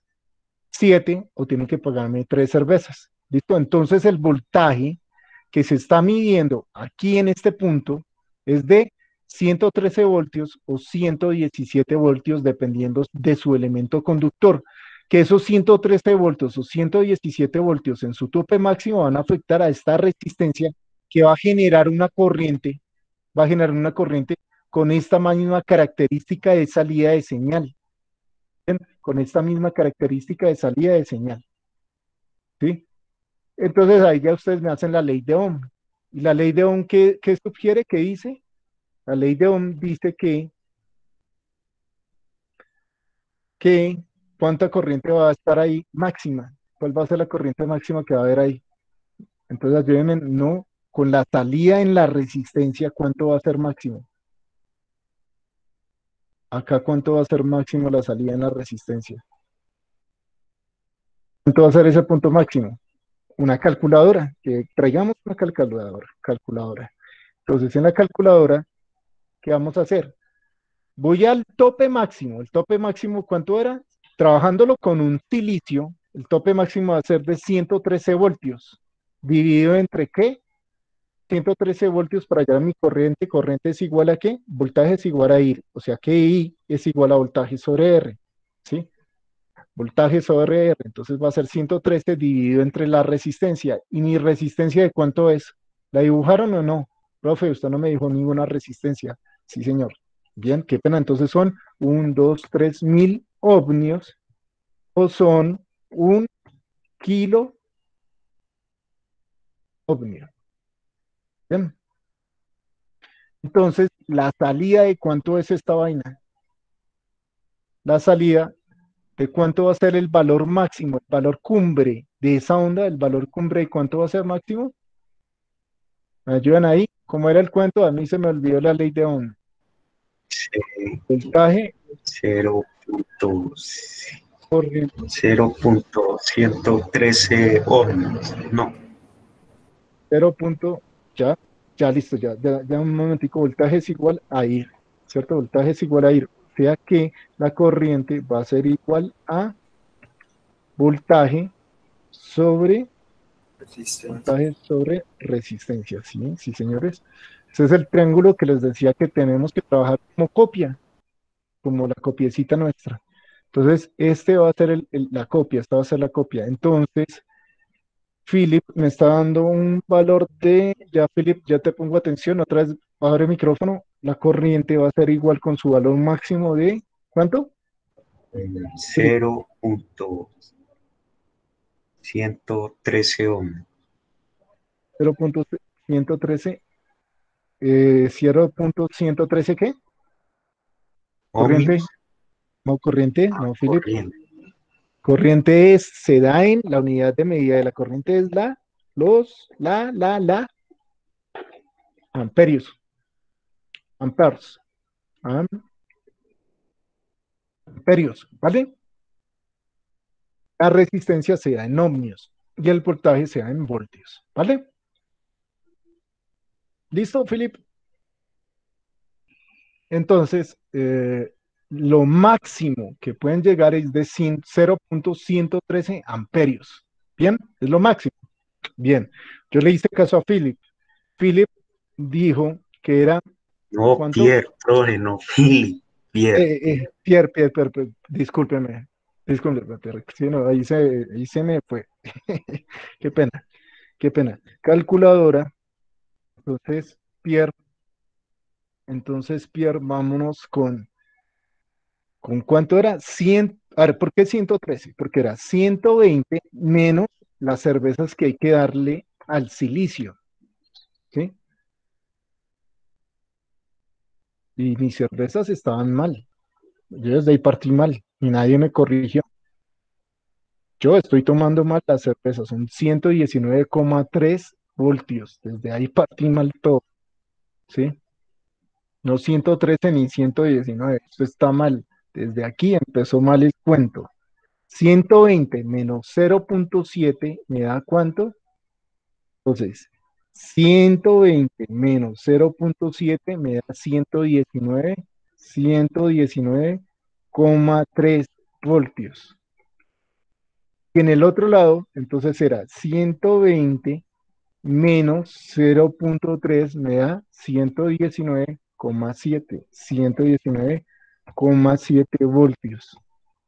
Y ahí sí ya podemos hacer eh, la fórmula que estaba trabajando Philip, que, eh, Pierre, ¿sí? La, la fórmula que estaba trabajando Pierre, que es de, pues es 119. Entonces digamos que 120 menos 0.7 voltios, 7 cervezas que se toma este señor, son 119,3 voltios y una resistencia que tengo que era de 1000 ohmios, dividido una resistencia de 1000 ohmios, me va a dar una corriente de 119,3 miliamperios. ¿sí? Entonces acá nos descachamos porque el profe lo empezó mal. Acá nos descachamos en esto porque el profe lo arrancó mal. Bien. Entonces la corriente máxima de esto se va a manejar es de 119,3 amperios. ¿sí? Pero amperios de C o AC, no, son amperios AC, porque son continuos, esto se está moviendo en el tiempo. El valor tope, el valor máximo, ¿sí? es de 119, el valor máximo es de 119,3 si se ma- manejara el material de silicio aquí, si se manejara el material de silicio aquí, este tope es el máximo. El tope mínimo va a ser cero, ¿cierto? El tope mínimo va a ser cero. Bien, entonces, esta es la señal de salida cuando se pone la onda, la sonda de su osciloscopio que se va a mostrar aquí. Aquí va a mostrar un voltaje, este voltaje, va a mostrar este voltaje, ¿sí? Y si yo pongo la sonda por aquí para medir no el voltaje, sino la corriente con una punta, ¿sí? una punta de medición de corriente, voy a tener cuánto? Voy a tener este elemento, voy a tener esta señal de salida, así. Bien. Una fuente de voltaje que tiene su sentido que positivo, se estaría trabajando así como una fuente de voltaje continua. Está trabajándose positivo, llega acá el positivo, el positivo llega por aquí, el positivo llega por aquí, pero acá se enfrenta esto contra el sentido, ese muro que está generando que el, que el cátodo en la parte de, que, escribimos físico-química, pero no permite el ingreso. Entonces se abre el circuito y ahí se frena, se frena esa conducción. ¿Sí? Entonces, en nuestra señal a estar cambiando, se va a mover, como que se va a desfasar. ¿Sí? Ya que va a pasar, ¿qué va a pasar entonces? Lo que va a pasar es que se va a desfasar cuánto? Exactamente se va a desfasar pi. ¿Cierto? Se va a desfasar como algo acá así, pi. Venga, la vuelvo para tener un poquito más de espacio de maniobra. Entonces nuestra señal aquí en este momento no va a dejar salir nada, no va a permitir salir nada. Entonces sería como si se desfasara pi. haría? Esta parte sí es visible, esta parte acá va a ser visible, pero el resto del canal no va a ser visible. El resto del canal no va a ser visible. O sea que, o sea que esta señal como que se va a mover, se va a mover y quedar movida aquí. Quedar movida acá. Acá quedar movida. ¿Listo? Donde el origen ya no es este, sino el origen sigue siendo este punto. Nuestro origen sigue siendo este punto. Nuestro origen sigue siendo este punto. A ver, ¿cuál era el origen? Era... Ah, no, ¿cómo lo hacemos? Una rayita. Una rayita. Acá una rayita que llega acá. Una rayita así. Y el origen sigue siendo este mismo punto. Este mismo punto sigue siendo este el origen. ¿Vale? Este es nuestro origen. Bien. Entonces ahí, ante la primera eventualidad de la señal de ingreso, esta parte de ingreso, esta no la va a dejar pasar. No la deja pasar. No la deja pasar. Pero viene entonces el sentido área bajo la curva negativa de esa, de esa fuente. Viene el área bajo la curva negativa, esta área bajo la curva. ¿Viene? Viene esa área bajo la curva. Esa área bajo la curva se puede manejar aquí como esta fuente de energía continua en el tiempo, pero inversa, así como esta. esta ¿sí? Como si fuera, si le hacemos el pause en su sentido máximo, que es menos 120 voltios, ahí en menos 120 voltios, como si tuviéramos una fuente de energía continua en el tiempo, pero invertida, ya está invertida. Entonces, si está invertida, esta área bajo la curva que es negativa va a arrancar por acá, ¿sí? Va a arrancar por acá, ¿sí?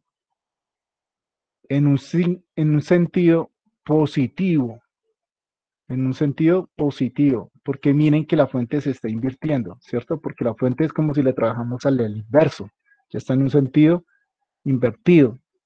Entonces, esta área viene, pero tipo positiva. Y acá, ¿qué pasa? Permite el acceso de esa área bajo la curva que era negativa, ¿sí? Porque se invirtió la fuente, permite el acceso entra esa señal a funcionar aquí con la resistencia, se genera una corriente y se cierra el circuito. Se cierra el circuito. ¿sí? Si lo trabajáramos este volteando, en, al hacer pausa en su sentido máximo, que es este, aquí, en los 120 voltios, ¿sí? es como si la fuente de energía se, se, se volteara. ¿Listo? Es así. Si no la trabajáramos así, si no la quisiéramos trabajar así, de esta forma, entonces en este momento Está funcionando quién? El área bajo la curva negativa.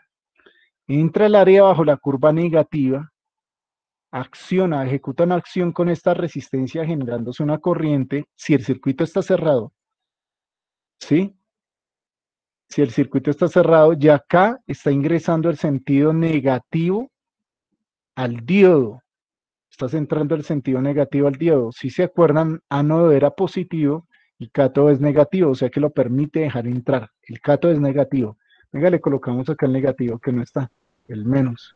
No es al revés, sí. sí. Cátodo es negativo, el ánodo es el positivo. Sí, Sí, señor. Sí, el ánodo es el positivo, ¿vale? así es. Entonces, entonces eh, por acá, ¿listo? Entonces, como este deja permitir entrar señales negativas, ¿sí? Si lo trabajáramos así, no con el pausa, entonces, si lo trabajamos así, viene el área abajo, la curva negativa, que son voltajes todos negativos, menos 120 voltios, menos 4 voltios, menos 0,0001 voltio negativo. Y como está permitiendo, acá el diodo dice, sí, pueden entrar voltajes negativos, entra, el diodo se switchea a estado on y se cierra el circuito, lo que genera una señal de salida en quién? En toda esa resistencia que está funcionando es como, como una impedancia más, ¿sí? Cuando una resistencia trabaja ante circuitos de señales alternas en el tiempo, es como si fuera una impedancia, no una resistencia. Alguna vez los expliqué.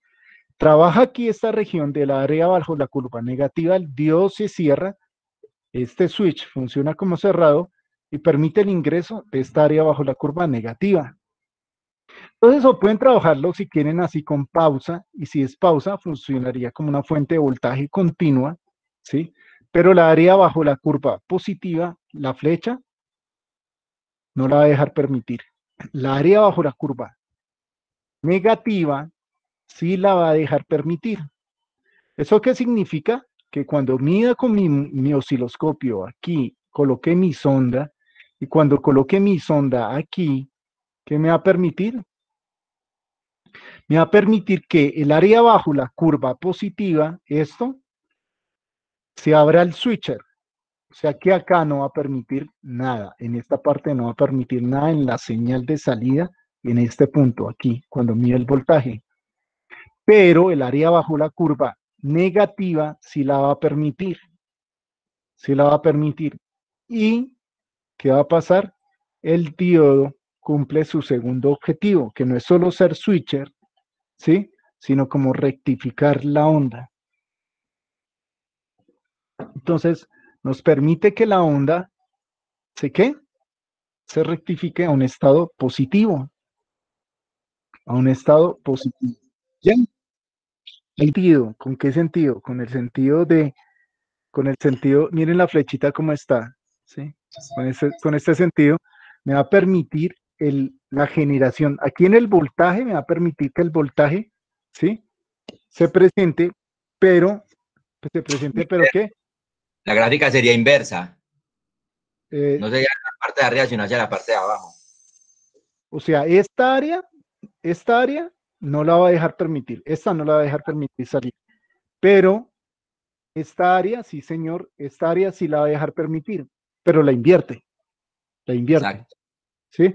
Si esta, si esta gráfica la comparamos, si esta gráfica la comparamos con el primero que hicimos, el primer diseño que hicimos, que cuál era, con este primer diseño, si ven, y esto debería estar, esto debería quedar igual, totalmente igual, si ven que acá hay un desfase, o sea, esta, esta suba, suba, esperen, denme un momentico acá. Voy acá a dejar esto un poquito acá y voy a hacer una línea de tiempo cero. Toda esta línea que voy a hacer es el tiempo cero. Esto es, eh, digamos que esto es cero. Todo esto es el, no es el tiempo, sino, bueno, que sea el voltaje o corriente cero. ¿Listo? Entonces, esta, esta estaba trabajándose aquí. Esta se estaba trabajando acá, ¿cierto? Acá. Espere, ahí ingresa, acá. Ahí se estaba trabajando. Esta permite los ciclos positivos que se generen, los negativos se abre, los negativos se abren, ahí se switchea, acá se switcha, se switchea, pero aquí, acá que permite, permite que los ciclos positivos no pasen, los ciclos positivos no pasen, pero los ciclos negativos, los negativos sí de los deja, sí los deja pasar y los rectifica. Y los rectifica. Entonces ese podría ser como nuestro primer rectificador de una onda negativa a una onda positiva. El rectificador más sencillo que podríamos encontrar. Es el más sencillo. ¿Listo? Miren ahí las dos. Miren este circuito frente a este circuito. En este circuito este funcionaba con un switcher y este funciona como un switcher. Pero acá este tiene una ventaja, que acá este rectifica la onda y la, y la gira, la gira en el sentido Y, la vuelve positiva. Bien, ¿qué dudas tenemos hasta ahí? ¿Qué dudas van ahí?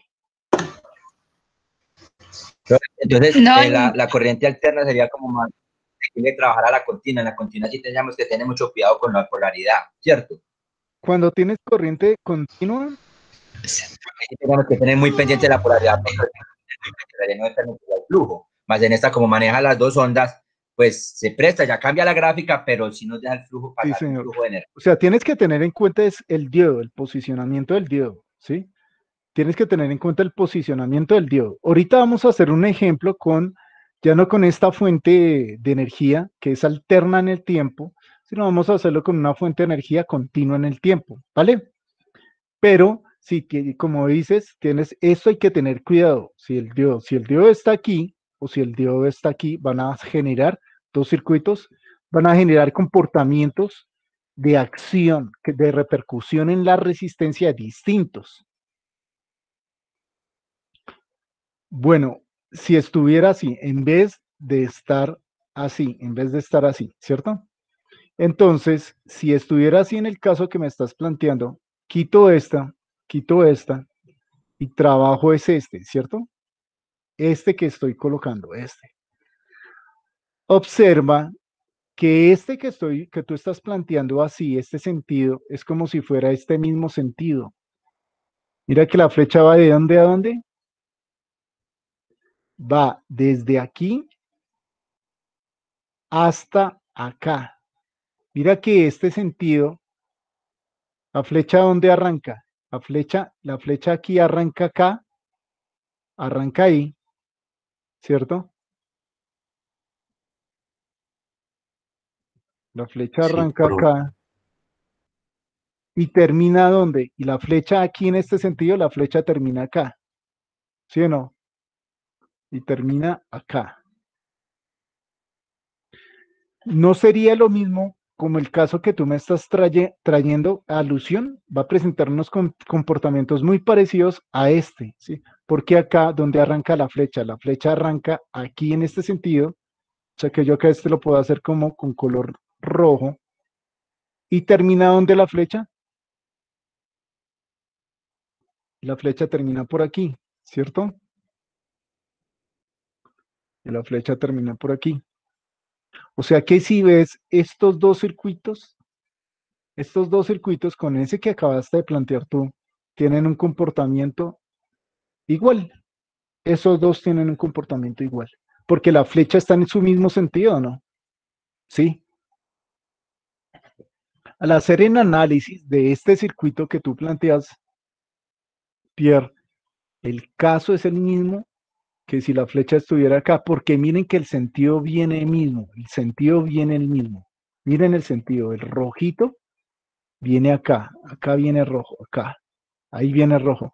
Y aquí, ¿dónde viene rojo? Acá. Miren que el sentido es mismo, la dirección es la misma.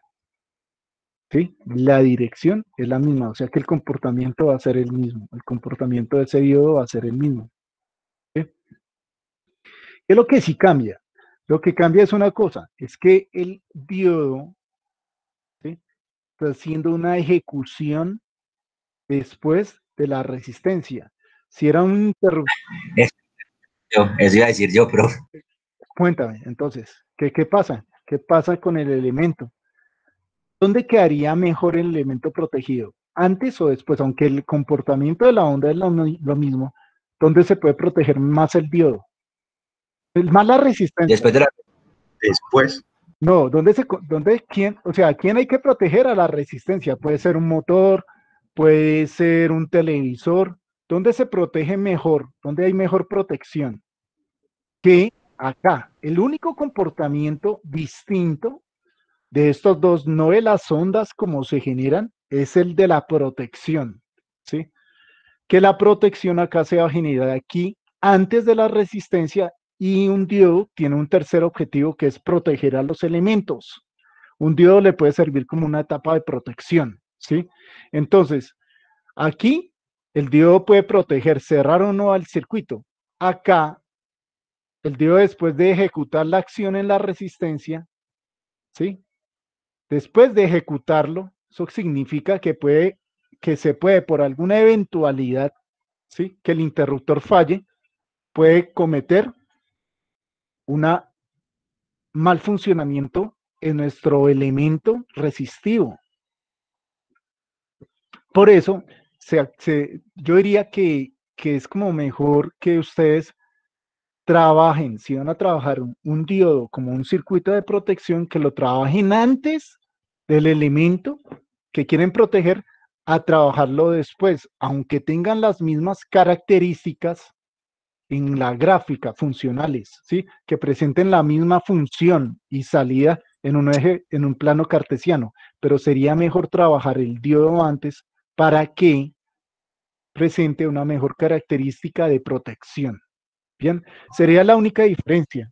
Sería como la Creo única- cierto, porque por ejemplo, el diodo rectifica la onda y solamente deja pasar la que le estemos permitiendo, mientras que si el diodo está después, la onda completa a pasar por la resistencia. Sí, señor. Sí, señor. Pasaría completa en la resistencia, ¿sí? Y, pues, bueno, la, el, un objetivo, primer objetivo del diodo es que ser un interruptor, ¿cierto? Entonces, si viene, la, si viene una, una onda, una parte negativa acá, no la va a dejar pasar, ¿sí? Pero ante alguna eventualidad que se presentara y la dejara pasar, ¿sí? La, ¿qué, va, ¿Qué va a sufrir primero? Va a sufrir, ¿qué elemento es el primero que, que, va, que va a sufrir la acción? El primero que sufre la acción, ¿quién es? Es la resistencia, porque es un circuito en serie. Si es un circuito en serio, que el primer elemento que está accionado por, por esa señal de entrada es la resistencia y no es el diodo. Yo quiero que a un circuito de protección, lo primero que se rompa, ¿qué es? Pues mi elemento de protección, antes de la resistencia. ¿Qué tal que esta resistencia sea un motor de 3 millones de pesos? Yo no quiero tener ningún chance, ¿sí? Para que el motor vaya a tener algún elemento, eh, alguna probabilidad de daño. Por eso el diodo lo colocamos primero. Sí, es cierto, el diodo es un switcher que abre y cierra, ¿sí? Abre ante sentidos positivos si entran primero, no, cierra ante circuitos positivos, señales positivas si entran por su anodo y se abre ante señales negativas si, si esa señal entra por el ánodo del diodo, ¿sí? Pero ante alguna eventualidad que no esté planificada, para mí, más importante es que en el diodo, un elemento que te puede valer mil, dos mil pesos, un diodo muy caro, unos 70 mil pesos, 100 mil pesos, pues se vaya ese diodo a más un motor de 2 millones de pesos. Entonces entraría como el tercer objetivo del diodo, que es también proteger, que te puede proteger un circuito. Entonces yo, yo, yo lo trabajaría no aquí en esta posición, sino aunque cumpla en las gráficas lo mismo, sino lo trabajaría aquí. Bien, trabajaría aquí. Y con ese, con esa ejemplo que acabo de colocar Pierre, entonces podemos hacer unas deducciones de los objetivos del, del, del diodo. Primer deducción es que la primera es que sea un interruptor. Un momento que eso está saliendo. muy pequeñito. 72, ampliemos esto para que se vea. Entonces, los objetivos, ¿cuáles son? Los objetivos es primero que sea que un interruptor. Segundo, que sea como un rectificador. Y tercero, que sirva como protección. Pero hay unos diodos especiales que son los diodos Zener, ¿sí? Que nos sirven a- para hacer más, más conmutables y proteger mejor los circuitos. Pero entonces estos son como básicamente los objetivos de este señor, del inter, ¿de quién? Del diodo. Bien, de nuestro diodo. Hay algo cerrado, tiene que qué? Tiene que estar entrando el voltaje o la corriente, la energía debe estar entrando por el sentido, por el ánodo debe estar entrando esa fuente de energía, su sentido positivo, y ahí sí lo permite, permite accionar. Pero si esa fuente de energía está entrando con una, con una carga negativa al ánodo, no va a permitir, no va a permitir el- el- la ejecución en el circuito, o sea que va va a ser como un cable abierto, va a estar como un cable abierto, si abrir el cable, ¿listo? Va a estar abierto el cable. Entonces, si entra en el sentido positivo, si entra esto por acá, es un cable abierto, eh, un cable cerrado, un cable cerrado.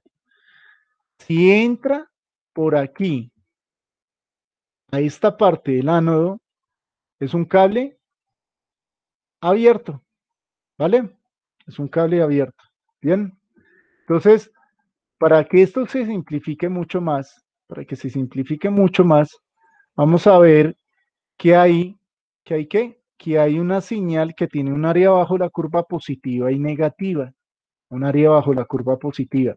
Si al diodo en el ánodo entra la región positiva, es un cable, un cablecito cerrado que tiene continuidad. Pero si entra en el ánodo, el área bajo la curva negativa, ese interruptor se abre y queda como un cable abierto, ¿sí? Entonces, un interruptor, ¿qué es? Un interruptor es, es, es qué? Un interruptor es un cable que puede tener, puede estar cerrado, o un cable que puede estar abierto. ¿Listo? Así va a funcionar el diodo. Que el diodo tiene un peaje que hay que pagarle unas cervezas, sí. Pero ustedes pueden pasar su señal quitándole las cervezas respectivas que tienen que pagarle al diodo o no la pueden dejar pasar. Solo depende de quién, del área bajo la curva. Para que esto funcione así, tiene que ser que en el ánodo entra el área bajo la curva positiva y para que sea un cable abierto, debe ser que entre en el ánodo la área bajo la curva negativa. Bien, Disculpe, pero cuando usted dice un cable abierto quiere decir que no hay paso de corriente, ¿cierto? si cuando tú tienes un cable abierto en un circuito, o sea, cuando tienes un cable abierto en un circuito, no, no va a estar, no va a haber, no va a haber una acción en la resistencia. Si no hay una acción en la resistencia, en el circuito, pues no puede haber corriente, no puede haber corriente, ¿sí? No puede haber corriente. Si tú tienes un cable cerrado, ¿sí?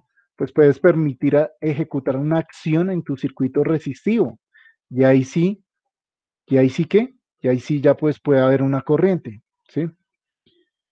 Para que este circuito funcione,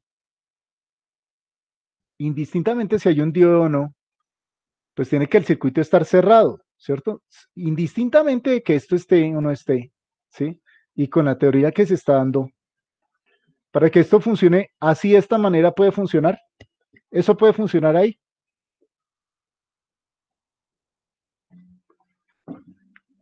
Así puede funcionar ese circuito. Sin pensar en el diodo, solo un circuito resistivo puede funcionar. No, ¿Qué tengo No. que hacer? Tengo que cerrarlo. cerrarlo y ahí sí funciona. Así sí funciona. ¿Listo? Entonces el interruptor ¿qué hace? O ser, o ser un cable que cierra el circuito o, o abrirlo. ¿Sí? Eso es lo que hace el diodo. Es uno de sus objetivos. Es uno de sus objetivos. ¿Sí? Porque es un interruptor, ayuda a rectificar, te ayuda a proteger.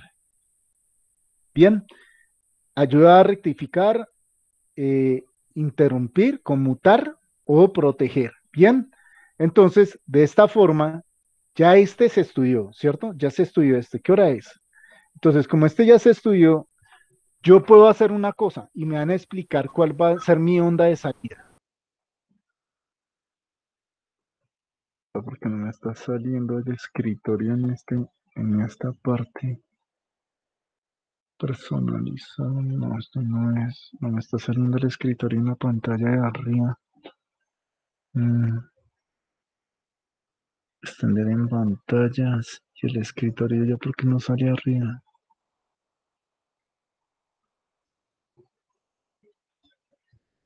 Mm, Bueno. Bien, entonces en mi reloj son las 9.26, tenemos un minutico más, ¿vale? En su fase de análisis, que es importante, analicemos, no importa las, las, las equivocaciones, son muy valiosas, es más importante equivocarse que, que, que tener éxito, es más importante la equivocación, qué es lo que planteamos, ¿sí? ¿Cuál va a ser nuestro diseño, nuestro análisis, cómo va a presentarse esto, qué pretenden, que ustedes plantean ahí. ¿Qué plantearíamos ahí?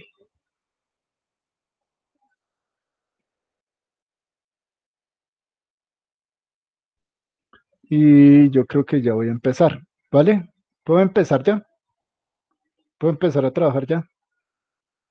Sí, señor.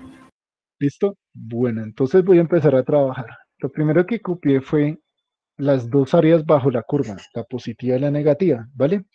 Entonces lo primero que voy a hacer aquí es coger el área bajo la curva negativa, la negra, ¿sí? La copio por acá y a esta la voy a invertir en el sentido Y. La voy a girar en el sentido Y. Listo. Y aquí borro esta. Para que veamos este funcionamiento. Bien, en- antes de esto, voy a quitar esta bien. La voy a lim- limpiar bien. Ya. Y ahora sí, no, todavía no está bien limpio. Quiero que esto quede bien limpio. Acá sin nada. Perfecto, ahí. Y ahora sí, entonces hice esto. Hice esto. ¿Listo? Creo que hay una área que es más alta que la otra. ¿Sí? Sí, acá hay una área que es más alta que la otra, entonces no me sirvió esto. No son iguales esas dos. Las dos deben ser iguales. Las dos deben ser iguales. ¿Sí? Ahora sí las dos áreas bajo la curva son iguales. Ahora sí las dos son iguales. Pero esta era negra, que se rectificó. ¿Sí? Entonces, este circuito lo que va a hacer es esto, exactamente esto. ¿Sí? Va a trabajar la roja, siempre la va a permitir, la rojita siempre la va a permitir, todas las veces que habíamos planteado en este circuito de arriba, todas estas veces van a estar presentes, todas estas veces, ¿sí? La roja, pero la negra, de acuerdo a este ciclo de arriba, este circuito de arriba, también se iba a permitir ciertas veces. Acá se permitía quién? En este circuito de arriba se permitían las rojas. Esta roja se permitía, la roja se permitía. Esto. Un momento. Acá se permitía la roja. Hombre, ¿qué pasó? No está cerrado ese circuito, ese círculo. Ah, ¿qué pasa? Chun, chun, chun, chun, chun, chun, chun, chun. No, bueno, no, no puede colocarlo esto rojo. Esto de color rojo no lo puede colocar. Esta es la roja, esta es la roja, esta es la roja. Esta es la negra, que la negra como que también está abierta. Sí, también está abierta ahí. Esta es la negrita. No, bueno. Entonces esta era la negra, esta era la negra, esta era la negra, esta era la roja, la roja, la roja. En el circuito, cuando están mezclados los dos diodos, ¿sí? Pues el rojo se va a permitir. Todo el ciclo rojo se va a permitir, todo el ciclo rojo, pero también el, el ciclo negro, ¿sí? Porque los dos diodos están funcionando, ¿sí? Entonces, va a permitir los ciclos rojos que funcionen cada cierto tiempo. Y los negros, ¿qué va a hacer? Los va a rectificar. ¿Sí? Entonces, este es una que, un ciclo negativo, pero rectificado, o girado en el sentido Y, ¿vale?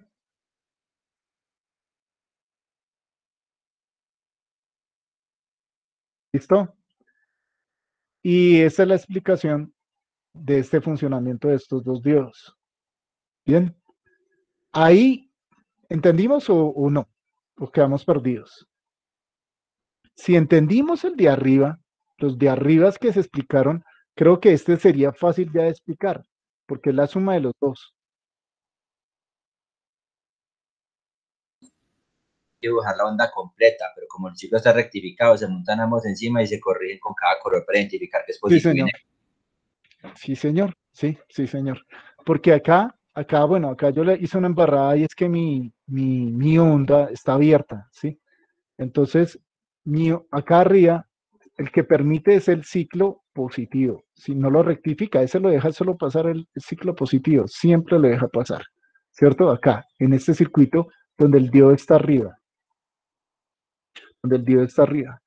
Ahora, donde el diodo está abajo, cuando el diodo está abajo, cuando el diodo está abajo aquí, que permite pasar es el ciclo, el área bajo la curva negativa, ¿cierto? Esta, que está girada en un sentido ¿qué?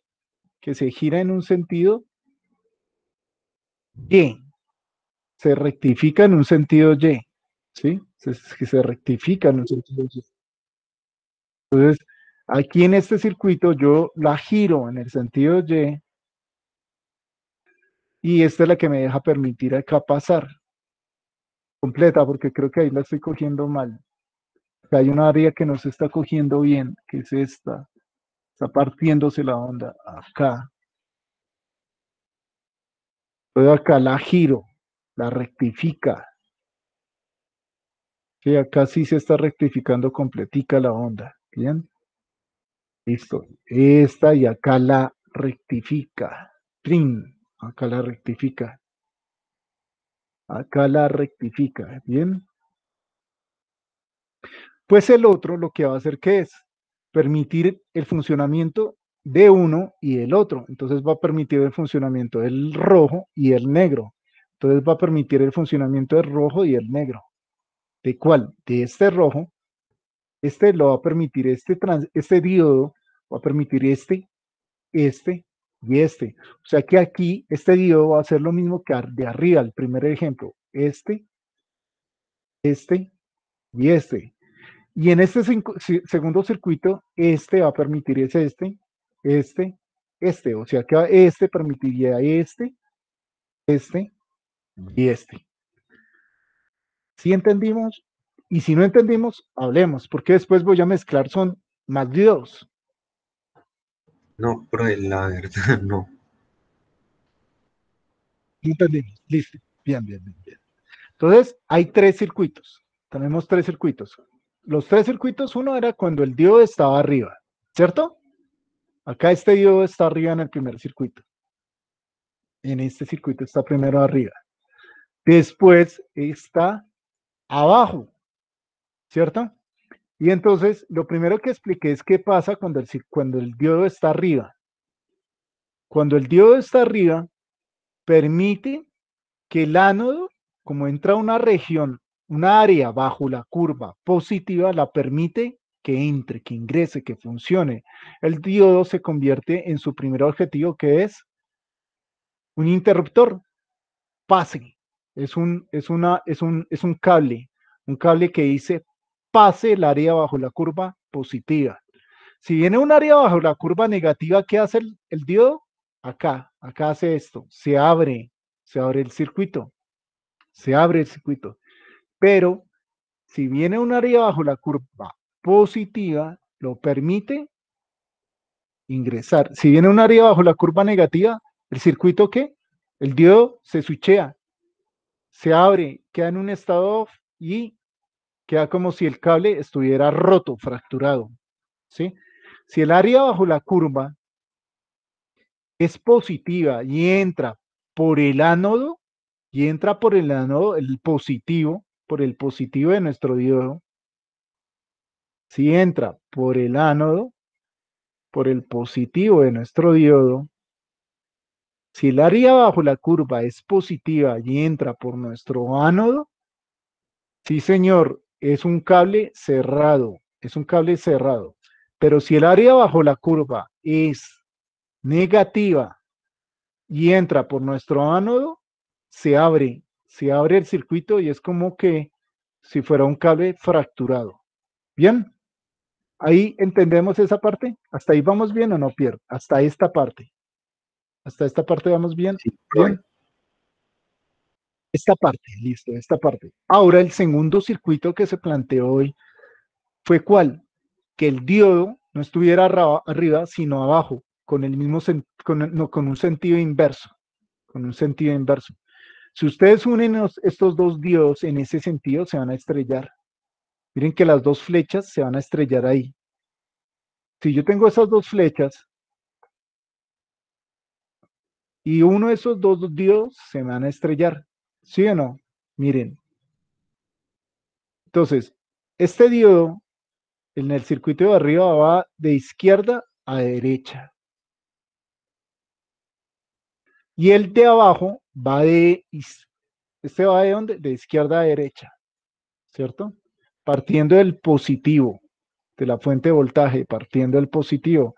Ahora este, partiendo del negativo, va de izquierda a derecha, o sea que se va a estrellar con el de arriba. Se van a estrellar esas dos flechas. Esas dos flechas se van a estrellar. ¿Sí o no? Ese es el sentido en que se está poniendo este segundo diodo. segundo diodo está poniéndose de negativo a positivo de la fuente de voltaje. Eso tiene unas características. La primera característica es que el área bajo la curva positiva, cuando arranca este señor por aquí, este señor aquí está arrancando la fuente de voltaje, está entregando una energía, está accionándose en la resistencia. Si el circuito está cerrado y llega al diodo, pero el diodo lo está cogiendo ahí en ese momento como al cátodo le está entregando, entrando la señal con área bajo la curva positiva. O sea que a la cátodo dice, no señor, acá no puede entrar porque el área bajo la curva positiva solo debe entrar por el ánodo. Pero acá está entrando es una un área bajo la curva positiva por el cátodo, no puede entrar por ahí, debería entrar es por acá. Pero acá estás entrando por aquí. No puede entrar por ahí, debe estar entrando es por aquí.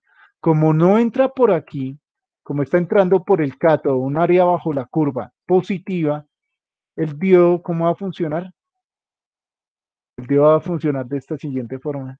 Va a ser un switcher abierto. Esta parte se va a abrir. ¿Cómo se abre esta parte?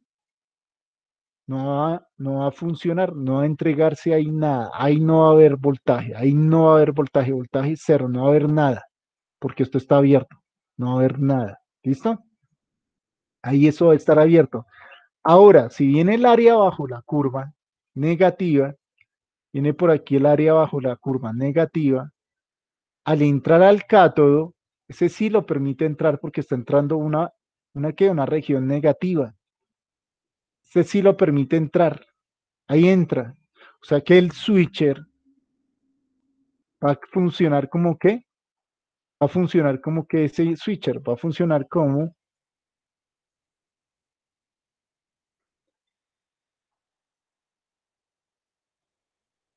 queda como, ¿como qué? Como un alambrito. Queda como un alambre, ¿vale? Ahí queda como un alambre. Entonces, queda como un alambre. Va a permitir que el ingreso de esa señal que accione en la resistencia y genere una corriente, ahí va a estar así cerrado. Bien, va a estar cerrado. Va a estar cerrado. Bien, bueno, va a estar cerrado. Sí, solo sí. Si en el cátodo entra el área bajo la curva negativa. Entonces va a permitir una acción. Y entra el segundo objetivo del diodo, que es como rectificar la señal. No que esté en un sentido, no que se muestre negativa, sino que se invierta esto en el sentido que se invierta en el sentido ahí, así. Ahí va a rectificar la señal y va a quedar como esta. Va a quedar así. Bien. Philip, ahí, eh, eh, eh, Jean-Pierre, discúlpame. Pierre, Pierre, ahí en ese momento esto sí se entiende. Esta parte, este circuito sí se entiende, este. ¿Este se entiende? Cuando, cuando es negativo, deja el, el pase al negativo. O sea, cuando Sí, está... entonces, si el área bajo la curva de la señal es negativa, puede ingresar, si ingresa por quién? Por el cátodo. Sí, sí se puede servir. Funciona si ingresa por el cátodo. Si el área bajo la curva es negativa, ingresa por el ánodo, no, no lo permite. Pero si el área bajo la curva es negativa, ingresa por el cátodo, por la flecha, sí, sí lo permite, ¿cierto? ¿Listo? Si el área bajo la curva es positiva, ingresa por el ánodo, sí lo permite. Si el área bajo la curva es positiva e ingresa por el cátodo, no, no lo permite. Por eso el ánodo, desde un inicio yo lo trabajé y le dije que el ánodo por acá apareciera con un positivo, el cátodo apareciera con un negativo. Y les dije, tan solo apréndanse en que la flechita es ánodo positivo. La flechita es ánodo positivo, como el triángulo. Les dije, apréndanse los triángulos. Vamos a aprendernos los triángulos, donde hay un triángulo acá, el triángulo, los tres triángulos de las distintas cosas, haré triángulo de potencia, triángulo del batiaje, triángulo de la fre- frecuencia, y el triángulo, ¿qué significa? Significa el diodo, el sentido del diodo, que ahí debe entrar un positivo. Ahí debe entrar es un positivo. Acá está nuestro triángulo. Si observan, esto es un triángulo. La flecha es un triángulo. Esto es un triángulo. ¿Sí? Que en la entrada del triángulo debe estar un positivo y debe ser ánodo. Bien. Y eso sí permite que las áreas bajo la curva positiva entren por el ánodo y las áreas bajo la curva negativa entren por el cátodo. Bien. Ahí entendimos esa parte de Philip. Hasta ahí cómo vamos.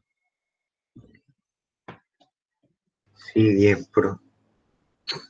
Bueno, entonces, si yo mezclo estos dos circuitos, si yo este primer circuito lo mezclo con este, ¿qué voy a obtener? Si yo mezclo esos dos circuitos, ¿qué voy a obtener?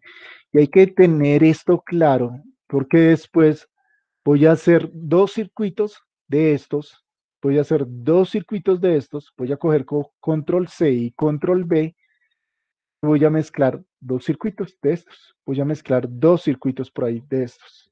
¿Sí? Si esto no está claro, la otra parte quedamos súper perdidos.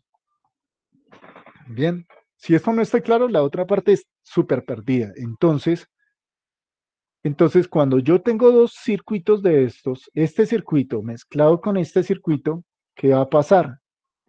¿Qué va a pasar? Pues como mezclo estos dos, estoy mezclando los dos, pues las gráficas también se van a mezclar. Miren que esta gráfica también la voy a mezclar. Estoy bajándola. Estoy mezclando las dos gráficas. ¿Vale? Ahí mezclé las gráficas porque los dos circuitos se mezclaron. ¿Sí? Los dos circuitos se mezclaron. Miren, yo qué estoy diciendo. Estoy diciendo, este circuito voy a mezclar con este. Lo voy a integrar a este. Como ese lo integré, pues esta gráfica también se mezclaría con esta. Bien. ¿Listo? Ahí cómo vamos, cómo vamos. ¿Quién anda perdido? ¿Quién anda perdido? Otra explicación. y Cambiamos la pentología. Escucho. Eh, usted nos dice que los diodos son para protección. Un diodo lo pone en la parte superior en la, en la gráfica y otro en la parte inferior, pero también estaría bien expresado colocar ambos diodos, uno enseguida del otro, eh, enfrentándose, en uno que acepta la, la energía positiva y el otro la negativa y luego la resistencia, para Ah. regular ambas polaridades de energía. Espera, a ver, algo el circuito que, que, que me estás diciendo. El circuito que tú planteas sería algo así. A ver, sería este circuito.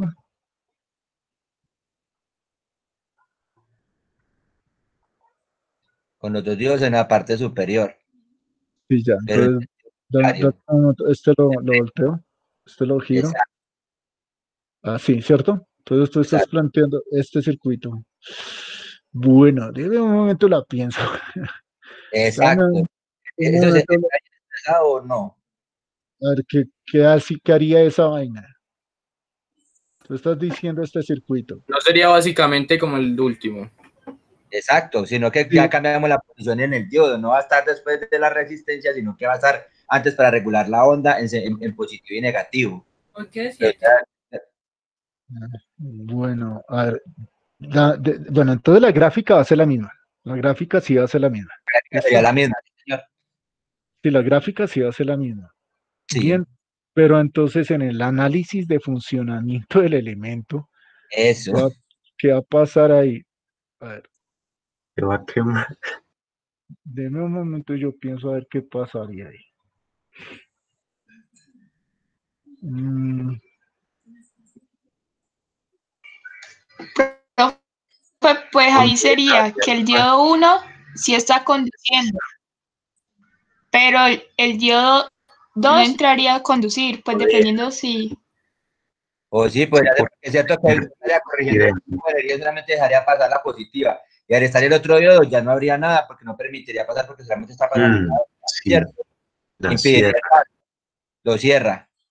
Lo abre, por decir, se abre. Lo no- más no- difícil, lo, lo que sería más fácil es que sepamos como la manera en, en la que está el diodo, si está conduciendo o no conduciendo, y ya ahí uno sabiendo el, el comportamiento del diodo ya lo entiende más fácil.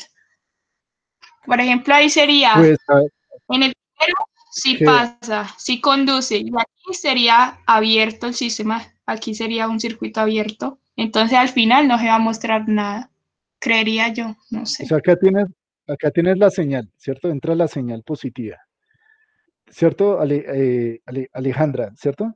Eh, eh, tú eres Ale- Alejandra, ¿sí? Laura, Laura, Laura. Laura, Bien, entonces acá llega el área bajo la curva positiva. Digamos que llega el área bajo la, la curva positiva, ¿cierto? Control C, control V. Llega el área bajo la curva positiva, acá este lo permite, este lo permite y sigue, el switcher se cierra. Y acá llega acá en este momento y ahí qué va a pasar. Acá, o sea, acá sí se permitió. Acá se permitió, pero aquí se va a permitir No. no, sería un circuito abierto ahí. como que ahí el switcher se va a abrir, ¿sí? El switcher se va a abrir, o sea que no va a haber gráfica, ahí no va a haber gráfica, Sí. ¿listo? Con, Me- con el que- área, disculpe.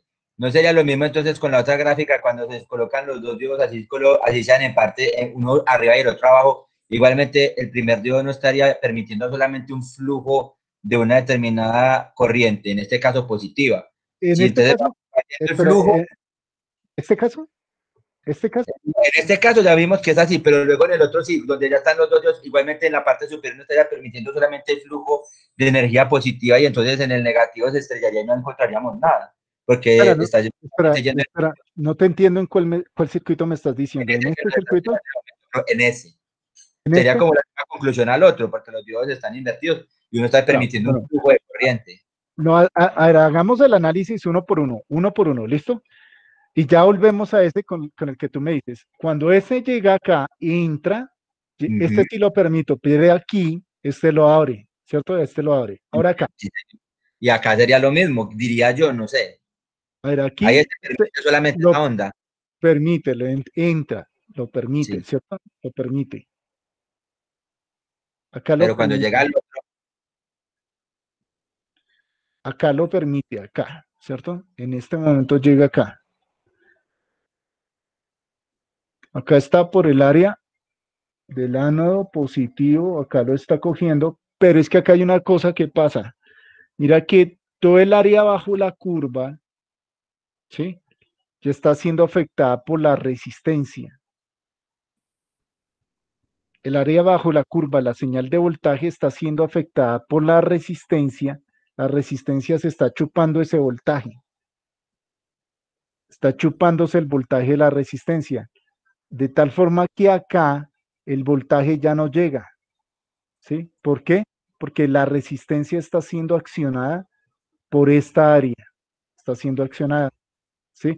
Por este, este acá permite, porque acá ya el área bajo la curva no va a llegar toda esa región roja, sino que va a llegar, ya llegar un cero, porque ese voltaje está accionándose en la resistencia. Como se está accionando en la resistencia, acá ya va a llegar es un cero, y ese se va a permitir entrar. ¿Sí me hago entender acá? ah, sí, señor. Porque entró, ¿quién entró? Entró la señal positiva en el ánodo, se permite entrar, entró, ta, ta, ta, ta, está ingresando ingresa, se acciona en la resistencia y al accionarse en la resistencia, ¿sí? Ya ahí hay una corriente, ¿sí? Pero el voltaje ya está accionado en la resistencia, está tomando una acción que está generando una corriente, ¿sí? Entonces el voltaje ya llega hasta acá, ¿qué? Accionado en la resistencia, el voltaje que ya llega es cero para cerrarse en el circuito. ¿Sí me hice entender? Sí, señor. Está entrando acá, este lo permite, circuito se cierra y esa área bajo la curva positiva, acá se acciona. Al accionarse la resistencia se chupa ¿qué? Se chupa ese voltaje y convierte eso en una corriente. ¿Sí? Y al convertirla en una corriente, acá, esto ya queda en ceros, en el voltaje. ¿Vale? ¿Qué se genera una corriente? E- Esa pregunta fue dura. Bueno, ¿sí se entendió esa parte? ¿me puede Pero- hacer explicaciones cuando, de- cuando llega la resistencia y de, de- se vuelve es corriente? ¿Por qué ocurre el cambio? Porque absorbe la energía, pero entonces ahí, ¿cómo es eso? Acuérdate la ley de Ohm. El voltaje es igual a quién? El voltaje es igual a la corriente o la resistencia, ¿cierto? Entonces el voltaje está entrando a una función. Esto es una función matemática. Esta es una función matemática que nos dice que si hay una resistencia, si hay una resistencia y está siendo afectada por el voltaje, está siendo afectada por el voltaje, una un voltaje hace- a- eh, siendo afectado por un, una resistencia siendo afectada por un voltaje va a producir una corriente, va a producir una corriente. Entonces acá el voltaje llega, está siendo afectada por una resistencia y produce una corriente. Sí, sí, compañero. Uy, sí, señor, muchísimas gracias. Eh, La pregunta estuvo, estuvo buena. En serio, ¿sí, sí estuvo bien eso o no? Sí, le, sí parece como bien. El voltaje es igual a ir, ¿cierto? Entonces, como el voltaje, solo el voltaje no te va a producir una corriente nunca. El voltaje no va a hacer nada. El voltaje no va a hacer nada. Usted tiene una, tiene una ranura ahí donde conecta su computador, tiene un huequito de neutro y un huequito de fase que genera una diferencia de potencial. Pero ese voltaje nunca va a hacer nada si no está accionado en una resistencia. Cuando se ejecuta una acción en una resistencia, el voltaje que va a producir, cuando hay una ejecución del voltaje con la resistencia, se produce una corriente. Esa diferencia de potencial que está ejecutándose en la resistencia nos va a producir una nos va a producir una corriente, ¿sí? Una corriente que en un circuito alterno no es resistencia, sino es impedancia. Z. No va a ser R, sino va a ser Z. Pero es como si fuera lo mismo en energía continua en el tiempo o energía alterna en el tiempo es Z. Bien, entonces el voltaje siendo funcionando, ¿sí? Eh, entrando a una cajita, una cajita que puede llamarse resistencia o impedancia, genera una corriente. Ahí se está generando una corriente. Bien, entonces toca como que tener en cuenta qué es lo primero que llega a ejecutarse en quién.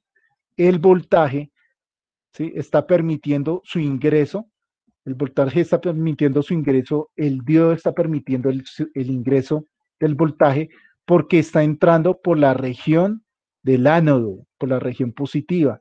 Entra el voltaje a quién? A esa impedancia o a esa resistencia que ejecuta una acción. Ejecuta una acción que es quién? Que es la corriente. ¿Sí? Por eso, por eso, este diodo de abajo ya no va a cumplir su objetivo de intermitencia, porque el voltaje ya cumplió una acción en la resistencia que generó una corriente. Por eso este, este señor switcher, este switcher, no genera el, switcheo y queda como en cable abierto, ¿sí? No queda en cable abierto. Bien. Ahora veámoslo del otro lado. Veámoslo desde el otro lado. La región negativa. ¿Vale? veámoslo desde el otro lado. Bien. Todo en la región negativa. Bueno, o en este caso, este caso, cuando tú estrellas los dos, ¿sí? Entonces, cuando estrellas los dos, el que propusiste, acá viene primero la región positiva, entra, lo permite, pero aquí este se frena, este no lo frena y no lo deja entrar acá. Entonces, vamos a hacer una cosa. Ese circuito, tan pronto hagamos la fuente de voltaje, lo vamos a hacer. Este circuito que usted está planteando, lo vamos a hacer a ver qué se presenta en, el osciloscopio. El osciloscopio que, qué señal nos va a sacar.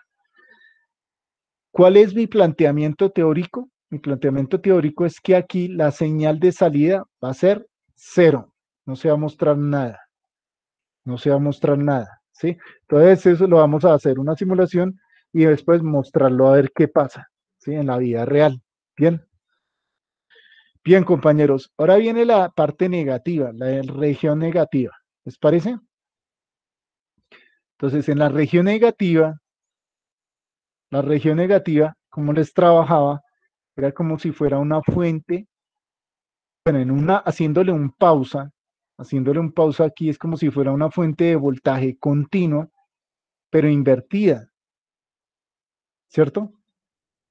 Invertida. Lo que les estaba trabajando acá, sí, invertida. Entonces, arranca de donde? Del menos al más. En esta sección, arranca del menos al más. Arrancaría por acá. Arrancaría por acá al arrancar por aquí, ¿sí? Esto ya se va a girar, no va a estar así en este sentido, sino va a girarse como giramos la fuente de voltaje continua. ¿Ven que acá se giró esta fuente? Se, se giró, o sea que la señal en este momento, tan pronto ingrese por aquí a hacer este recorrido, va a estar ya girada, el área abajo, la curva va a estar girada. O sea que ya va a estar entrando como positiva y este diodo va a permitir el ingreso. Se acciona una, eh, bueno, se ejecuta una acción en la resistencia generando una corriente y por aquí ya viene ese voltaje aterrizado a cero. Acá se aterriza a cero, ¿sí? ¿Por qué? Porque el diodo está funcionando como un rectificador. Está funcionando como un rectificador aquí, aquí la fuente de voltaje, esta fuente de voltaje, es como si fuera una fuente de voltaje continua, porque le estamos haciendo un pausa al trabajarla en 120, en el máximo. Entonces está haciendo es como si funcionara así, como funcionara de esta forma.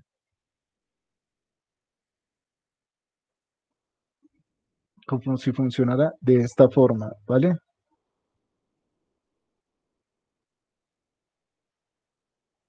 acá.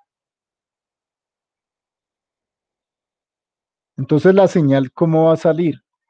La señal, ¿cómo salir? También se va a girar. Esta señal también se va a girar del negativo al positivo, ¿sí? O sea, que la señal venía acá así, venía así, y se va a rectificar. Acá se va a rectificar. ¿Sí? Para salir del positivo al negativo.